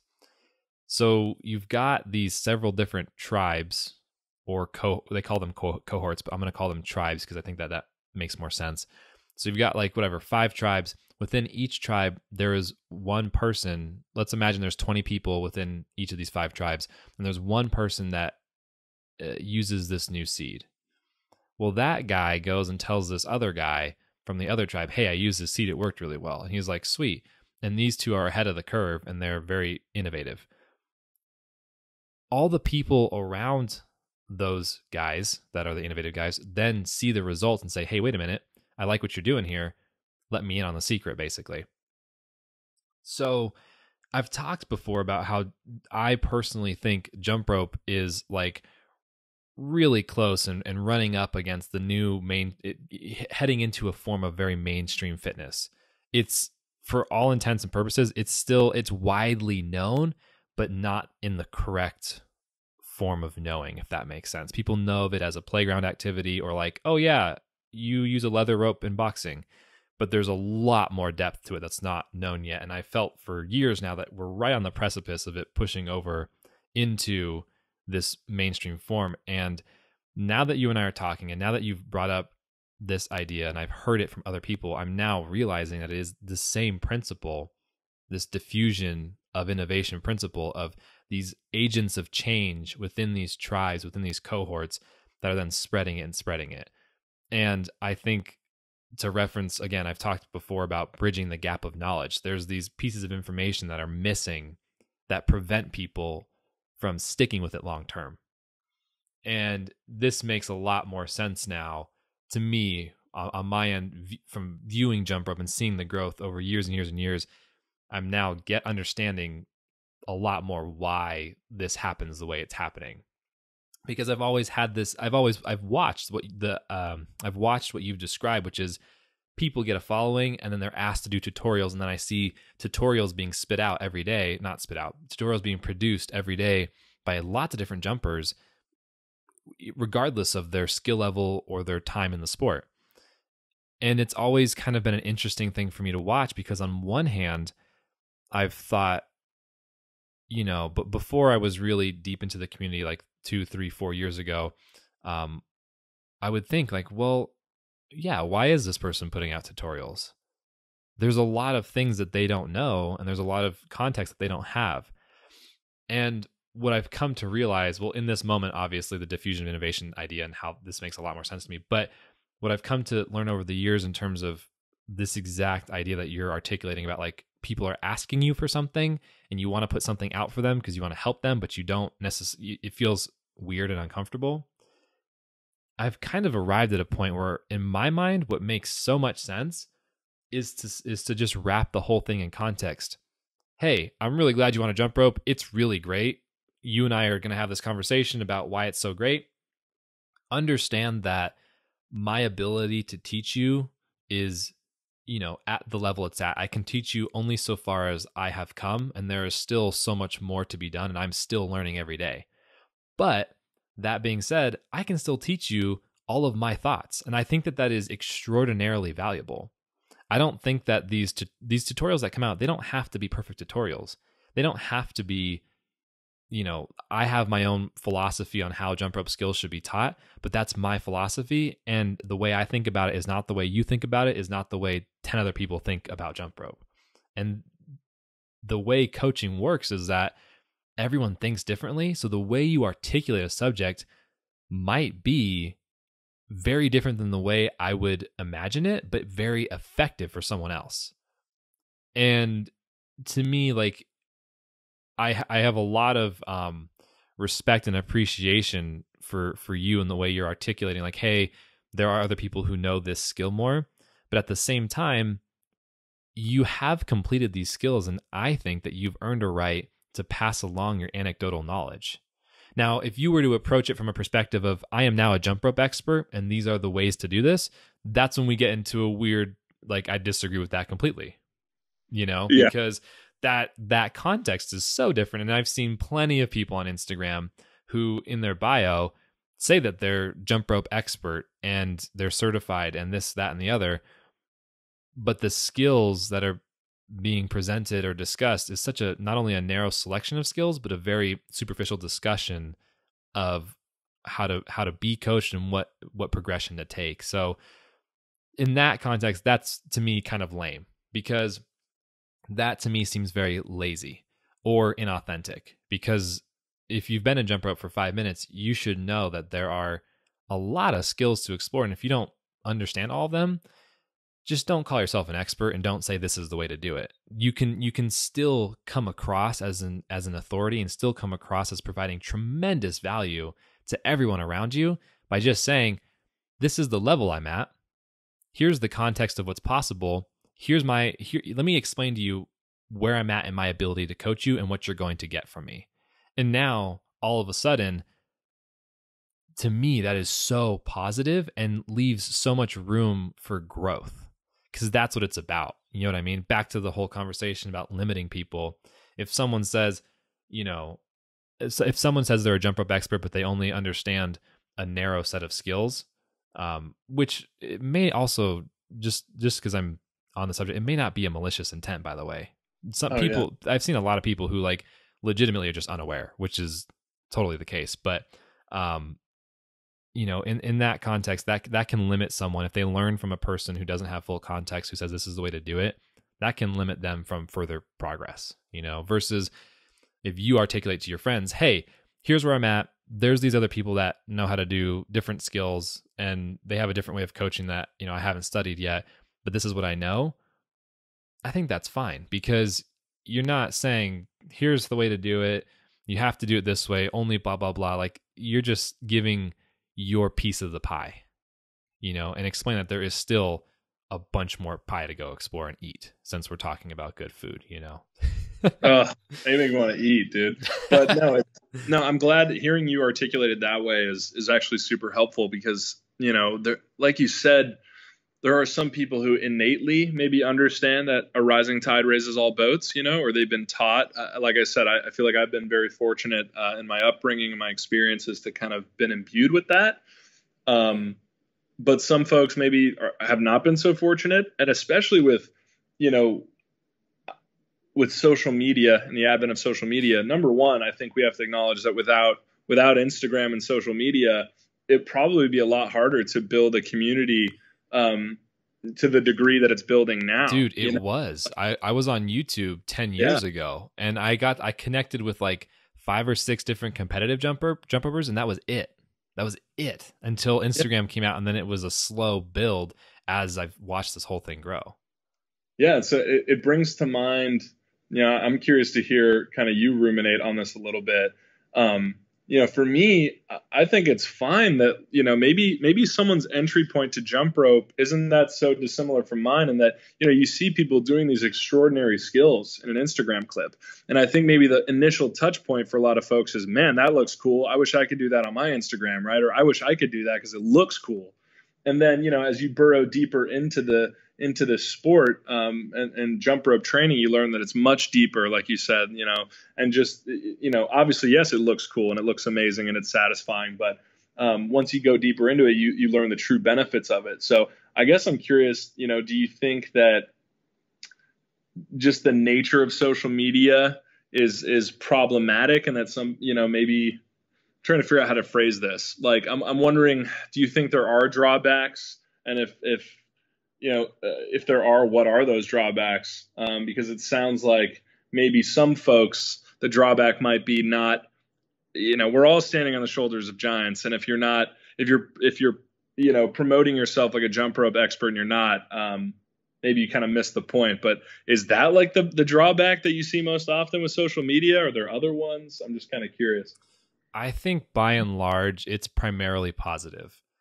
Um, case in point being where we're at right now. There are people who put out information that personally I disagree with and personally um, I think is limiting, but the percentage of like the ratio of not so good information that uh, there's there's information that's not so good in that it doesn't really help so much and then there's information that's not so good and prevents right and and I, I it's important to separate the two and the prevents people from growing knowledge that piece uh, compared to all the other positive or neutral stuff that exists i mean to me it's like a 95 5 split you know what I mean? Or sorry, reverse that. Five percent not good, ninety-five positive. Yeah, I, I said that yeah. the wrong way. but oh, like, damn, dude, I, am so glad I'm in this five percent. It feels like the whole world. Yeah, no, I'm with you, man. With so, you. like to me, by and large, I think it's extraordinarily positive. I think the to talk about more like when you're asking, you know, what is what is the vulnerability of this medium or of this uh the platforms and where we're at right now?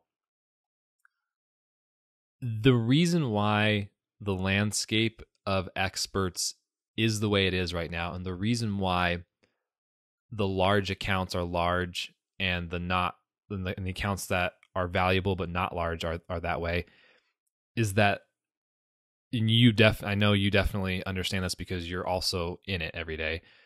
It comes down to marketing. This is not a function of talent. This is not a function of uh, you know what you what you deserve based on you know accolades or or actual accomplishments it is a function of do you know how to connect in a digital space and and i would separate how to connect in a digital space versus how to grow because as you and i both know those two are largely different. I've talked with geraldo about that too like there's ways to pay your way to the top and then there's ways to grow authentically and then there's ways to do both. And i think that that middle ground of do you know how to not only leverage the tools correctly but also maintain your authenticity on the way up? That's where it's at. And i and i, I personally believe those players that figure that out and lock that in are the ones that are going to grow to the top and i think we're going to see a lot of that i think the one thing to protect against and the vulnerability that we do have is if somebody with purely financial gains and no interest in the community were to have a disproportionately larger ability to market. Yeah. Which then started to plant seeds of negativity within the community and removed the benefits that we've talked about before in terms of the kindness and the willingness to share. Like to me, yeah. that's why it's so important to put these tutorials out, to do these things. Like when people ask you for something, like put it out like you said like if you don't if you have this knowledge and you don't put it out you might as well not have had the knowledge at all Like, right. I mean, to to be fair, I mean that, that can be extreme for someone like in your case, like you know, you don't have to feel pressured or whatever. People who are being asked for tutorials don't have to feel pressured to put things out. But like that is the stuff that if we continue to do that, that's how we continue to maintain the way the culture is. The same way powerlifting has maintained that for decades. Right? It's the it's the exact same model of like people keep showing up, they keep being nerds and that's good. You know, the vulnerability is if someone gets so good at marketing that they then have you know a control over the thoughts and and the discussions that are happening in the community. And i think that there are several of us who have been around for a long time that consider ourselves uh, well, this might sound stupid or cocky but like we consider ourselves kind of uh, protectors or people who are looking over the community because we've been in it so long you know? And i think that there is some friction between people who know the depths of jump rope but have not necessarily grown. And the friction between those people and the people who are are still learning about the depths of jump rope but have leveraged their platforms to be very very large. And yeah. and i think that that to me that's why it's so important to wrap what you do in these like you can call them disclaimers you can call it context whatever of like hey here's where i'm at here's what I know, here's where my limits are, but here's what I can give you where I'm at right now. And to me, that is so authentic and that is so honestly, that's so easy and truthful and gives you 10 times more credibility than saying you have a firm stance on something, you know? So that's kind of those are those are really my two cents on kind of the the technology and where we're at social media wise. Yeah, I mean, you know? so it sounds like we're you know both in agreement that like the the benefits of having this reach and, and this this connectivity completely outweigh the the potential drawbacks because like like you said, you know, in my mind, I guess maybe because I'm so positive about the community, I would find it hard to believe that there's some juggernaut that comes along that completely unravels this shared responsibility, this kindness and and um, level of honestly love that's in this in this community mm-hmm. like it feels unlikely to me but you're right. Like you know it's the weird point where this kind of the pleasure of jump rope and skipping meets capitalism and you know maybe if someone is abandoning this um, communal vibe um, or this shared responsibility that we're talking about to solely focus on financial gain yeah that could be pretty pretty traumatic. Although in my mind dude maybe it's because i'm being overtly positive. It just feels like based on the amount of people in this community that care about it and the diversity and honestly the you know folks like yourselves who've been shepherding it for a long time i just i don't see it happening. You know i really don't. But you're right i guess that could be that could be something that could go down. And i guess we just got to be there to protect it man. And that's why like for me um i guess another point is i've always found it people get weird you know there's some people get weird about like um giving credit where credit's due and that's that's never really really been my thing. You know, it's kind of I always found that weird, especially on social media. Like, um, you know, I had I think it was Chris actually because he's amazingly humble and awesome, as mm-hmm. you know. He, he, hit me up one day, dude. I can't remember when it was. And he's like, "Hey, man, thanks for the tag. I appreciate that." I was like, "Thanks? What do you mean? Like." I appreciate you saying thank you, bro, but I, I just thank you. You know, right, right. Because you all taught me stuff and you shared that that um, that knowledge and and help build a community just like you do. Um, but I guess for for that select five percent, you know, maybe they are weird about that because it's kind of a selfish thing. Um, but for me, I guess it's it's felt like an innate thing to do. Again, we're standing on the shoulders of giants. If you learn something from someone, yeah, you do have an obligation to pass it along and kind of pay it forward. But I guess uh, there is that kind of small, small margin of people who who might not see the benefit there. Um, I, I think, yeah. I mean, in terms of you know the, the juggernaut that wipes out the culture i think in order to wipe out i mean that whole discussion like you're saying i think it's very very unlikely like the percentage right. i mean technically there is a chance that it exists but i think that chance is the smallest it could possibly be because it because the culture is so firm and because there's so many there are so many people consistently putting out information and pieces of culture that then exist forever because yeah. that keeps happening over and over and over and it's growing exponentially I that's why I'm saying like if someone were to come in and wipe that out, like they would have to like th- like they would literally have to be like all of the best marketers together in one person. Like it would it just isn't nearly impossible. So it's not like a legitimate worry, but in terms of just musing about the question, like, you know. But in terms of what you're saying right now, that that insecurity or that the the there there, there can be some weird vibes. I've talked with Mike Fry about this a lot. And and I'm not going to speak for Mike because Mike's a different human, but the things that I've articulated to him, like I have felt that insecurity in the past of like, well, wait a minute, why are these people growing and I'm not? Like uh, that that has been a thing inside of me. I've felt that years and years ago, and it's taken me a while to kind of work through that and arrive at like a at a point where I don't feel that. And the thing is, the, one thing that I, I came to realize is that this is not a zero sum game in terms of giving credit where credit's due, if I say like literally an hour ago we talked about you know the the bounding and the triples, and I said, well, that comes from Dave Newman from RX, right? He worked yeah. ten years to do that. It the funny thing about giving credit is that it doesn't diminish your own knowledge. It's just right. sourcing where you're coming from. Right, exactly. You know, and in in in any case, I think it might actually give you more credibility to knowing when people see that you've done your research, you've done your homework, you know the players in the game. So I think when we see that, one of the funniest things that I've seen and watched over the years is that from from the business side of things normally there's competition within business in any industry right you you see that too in your work obviously that's why you do what you do and why businesses do what they do so the idea there is well if customer buys X product, then they're not going to buy Y product, which tends to hold strong in a lot of industries for many reasons.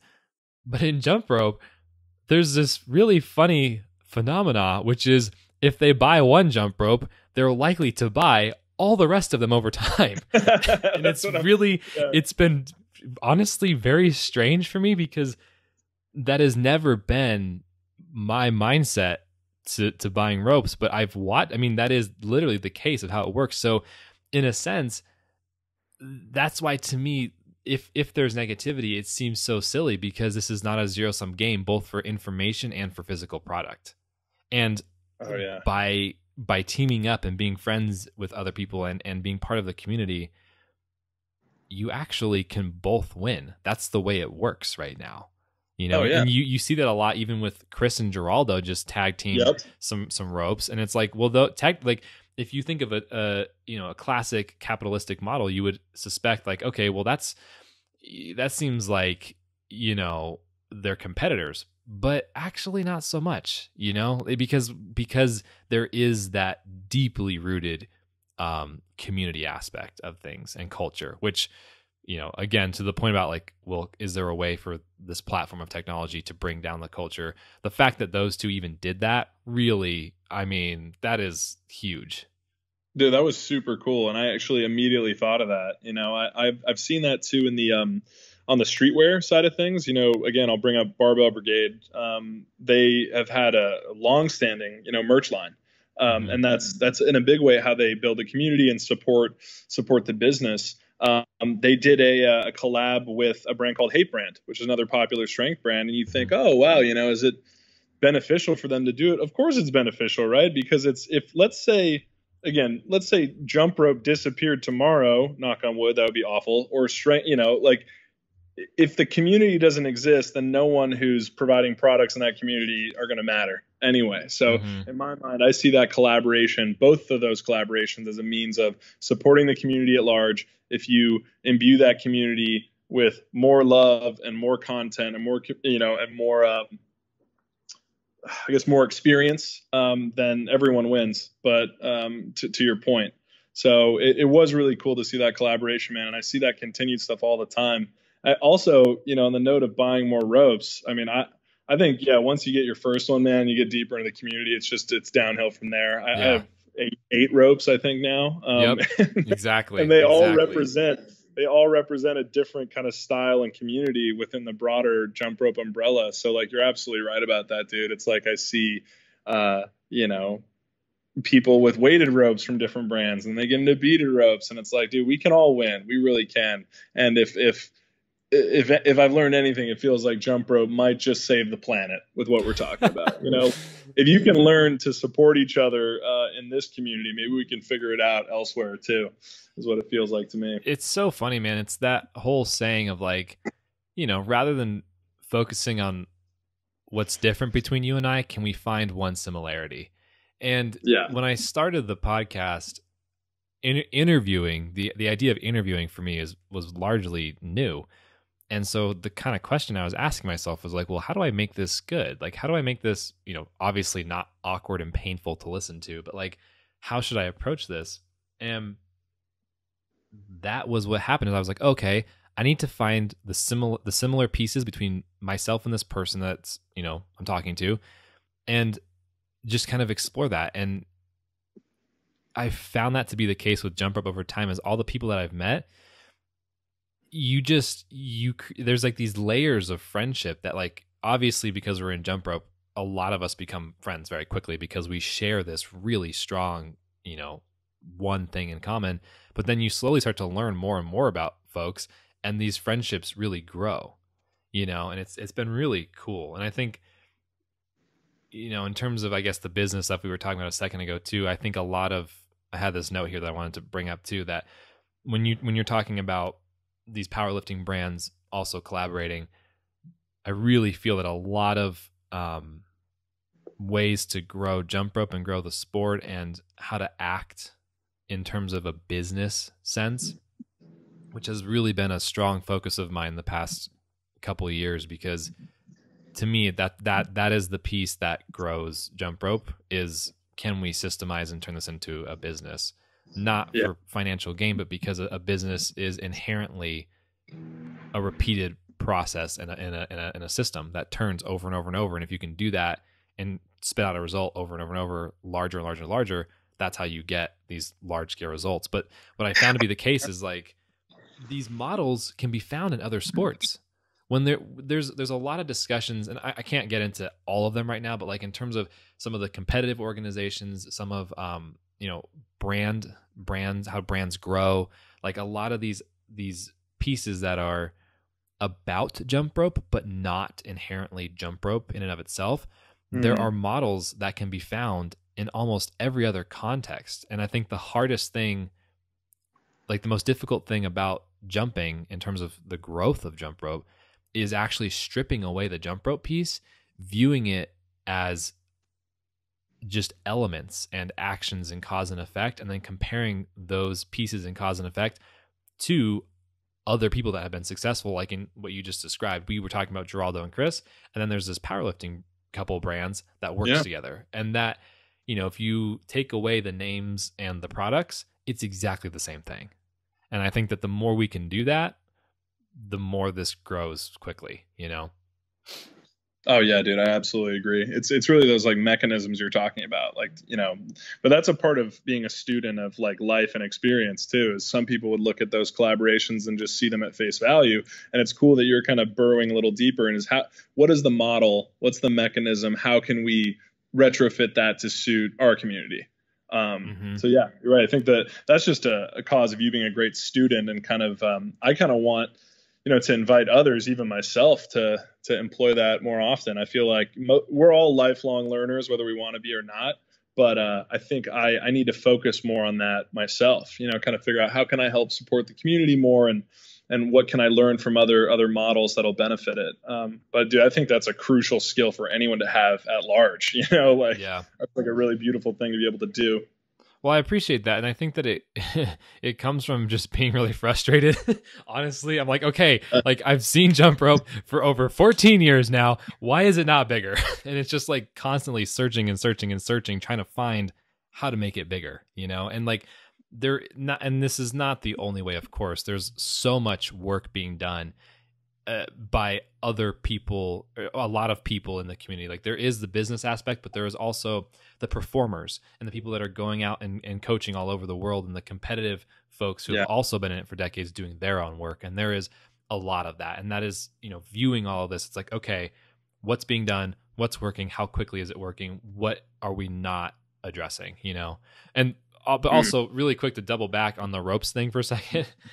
What's really funny is like I've gotten feedback that people like people have asked me like you know like when are you bringing out your ropes? And this is i mean i, I talked with it on the podcast with tan but like even before this years ago people are always like well, when are you bringing out your ropes? And it's almost it's almost like people expect someone who is in the spotlight whatever that is to yeah. produce a rope so it's like almost like a collectible item i don't know it's it's really funny like like like jimmy jimmy has done this and jimmy has a lot of purpose yeah. behind what he's doing you know and so it's it's and so like Sonny and Jimmy to me are like the ideal case scenario for people who care about something and are now providing uh, something that they they are they have been asked for and then are using that to do good in the world. And it's funny that people are now expecting anyone in any form of that spotlight to produce a rope and to sell it so that they can then have that. And it's like that's why to me it's so funny if I ever see someone who like that ze- yeah. that zero sum mentality. I'm like,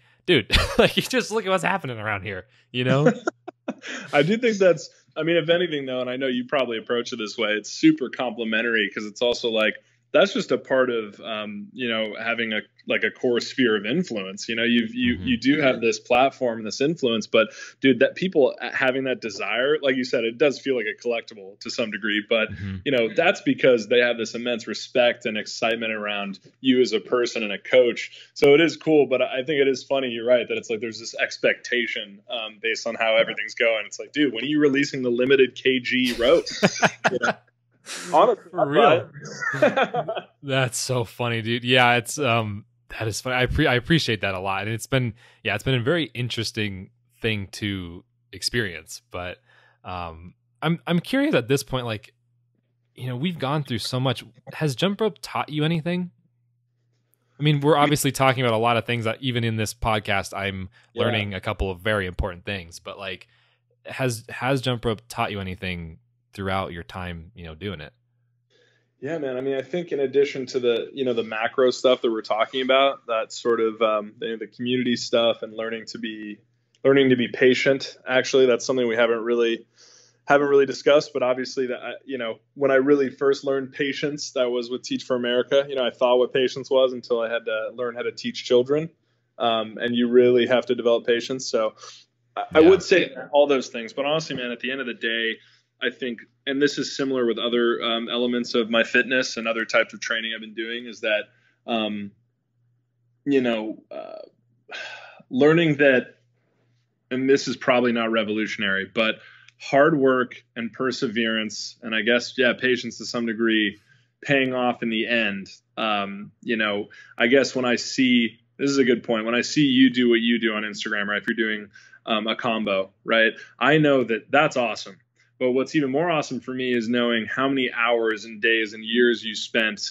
you know, concealing the difficulty of that move in that one clip, right? Like that's the true talent. Like you hiding how much work this has taken over the last 10 years, you know, sharing that knowledge. For me, I've learned that, you know, even a simple mic release, dude, to even become proficient with a move like that, it really does take an immense amount of work and repetition. Um, and that's something again it's not a revolutionary thought uh, and i hope it doesn't sound cliche but for me it really does. You know when you unlock that move um, you learn that like dude the the the proof is really in the pudding but all that work uh, really you know paid off. Like that's that's the important part.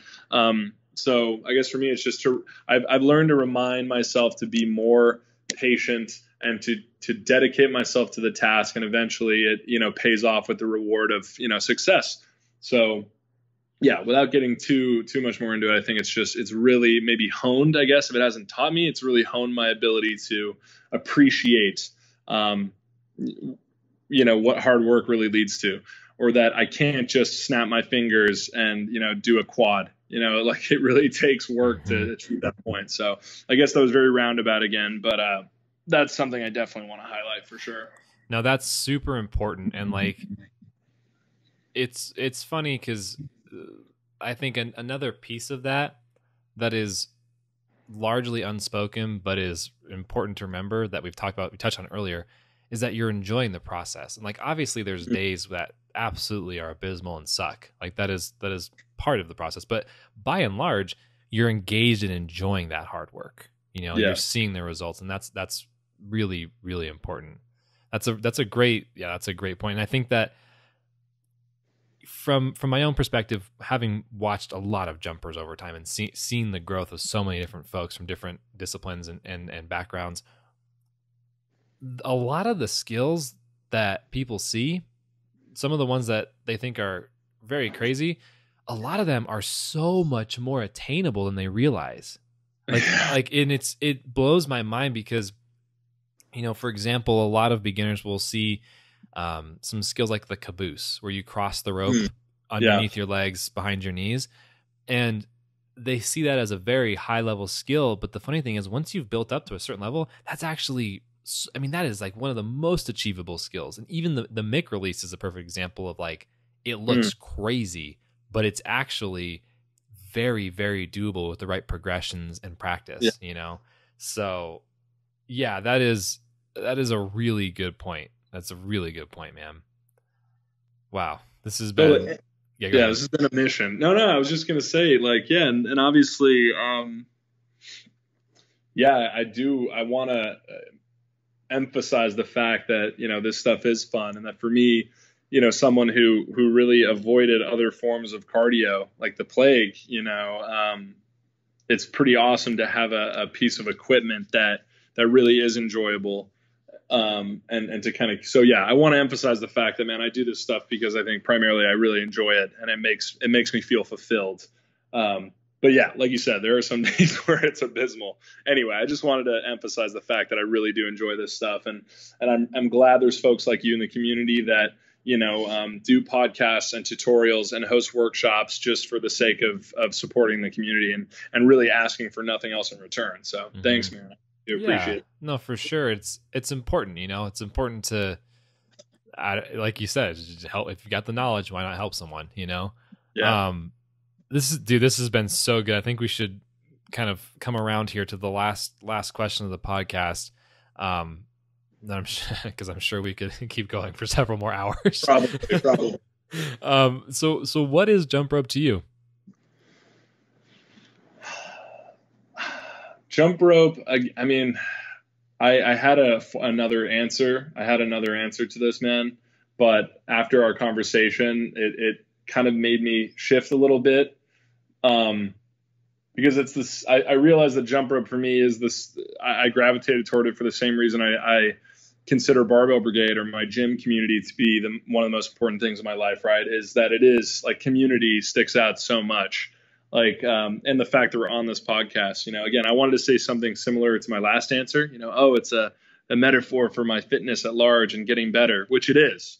Don't get me wrong but i think for me the community aspect is super important. You know like i said i'm if i'm that introverted extrovert or vice versa um, being able to share this with other people and learn from people who are far more experienced than me um, and and at the same time achieve my fitness goals you know make friends. Like that's super important dude. And uh, and again as we've said it feels like jump rope and this community to me are like something that can really help us live better lives as people. Like you can't say that about everything in this world but for me it's community dude for sure. I think just to put it full stop um, community. Man, yeah, that was a that was a good answer. That was really really solid, man. This has been a this has been a powerhouse of an episode. Man, a lot of words a lot of words for sure but Yeah. man, this has been fun this is this is why I like doing this though is because we come from very different backgrounds within jump rope, but we're both able to meet and have this discussion. You know, you this this is why I talk with everyone in the community is because you don't need to be some phenomenal athlete. You know what I mean? Yeah. You don't need to be anything in particular in order to deserve a place, you know, um, at least on this show. Because it's like Yeah. the I mean, dude, like we just had that two hour conversation about some really, really impactful good stuff. So and I and I know a lot of folks that are gonna really have enjoyed listening to this whole thing. So dude, thank you so much for taking the time, man. This has been phenomenal. Yeah, dude. Anytime, man. I- Like I said, I'm really honored to be um, to be on the podcast, and um, obviously here to help with anything you need as both a friend and a fellow jumper, dude. And like, and Sweet. I'm just yeah, I'm really happy to to be considered, man. And um, you know, thanks for talking with me. Definitely, man. All right, I will let you get back to your day. Um, but yeah, dude, thank you so much. It's been good. All right, brother. Yeah, we'll talk soon. Hey, before you go, I just wanted to say one last thing. Um, one of my main goals for this podcast is to share the stories you know, of other jumpers and provide a full picture about everything that's possible with the jump rope. The more people that hear this, the better. And it would really help me out if you sent this podcast to somebody you know, whether in real life or digitally on Instagram, Facebook, whatever platform you use. It would mean the world to me. so that's it. I hope you have a great rest of your day, night, lunch, evening, whatever time it is for you right now. See you later.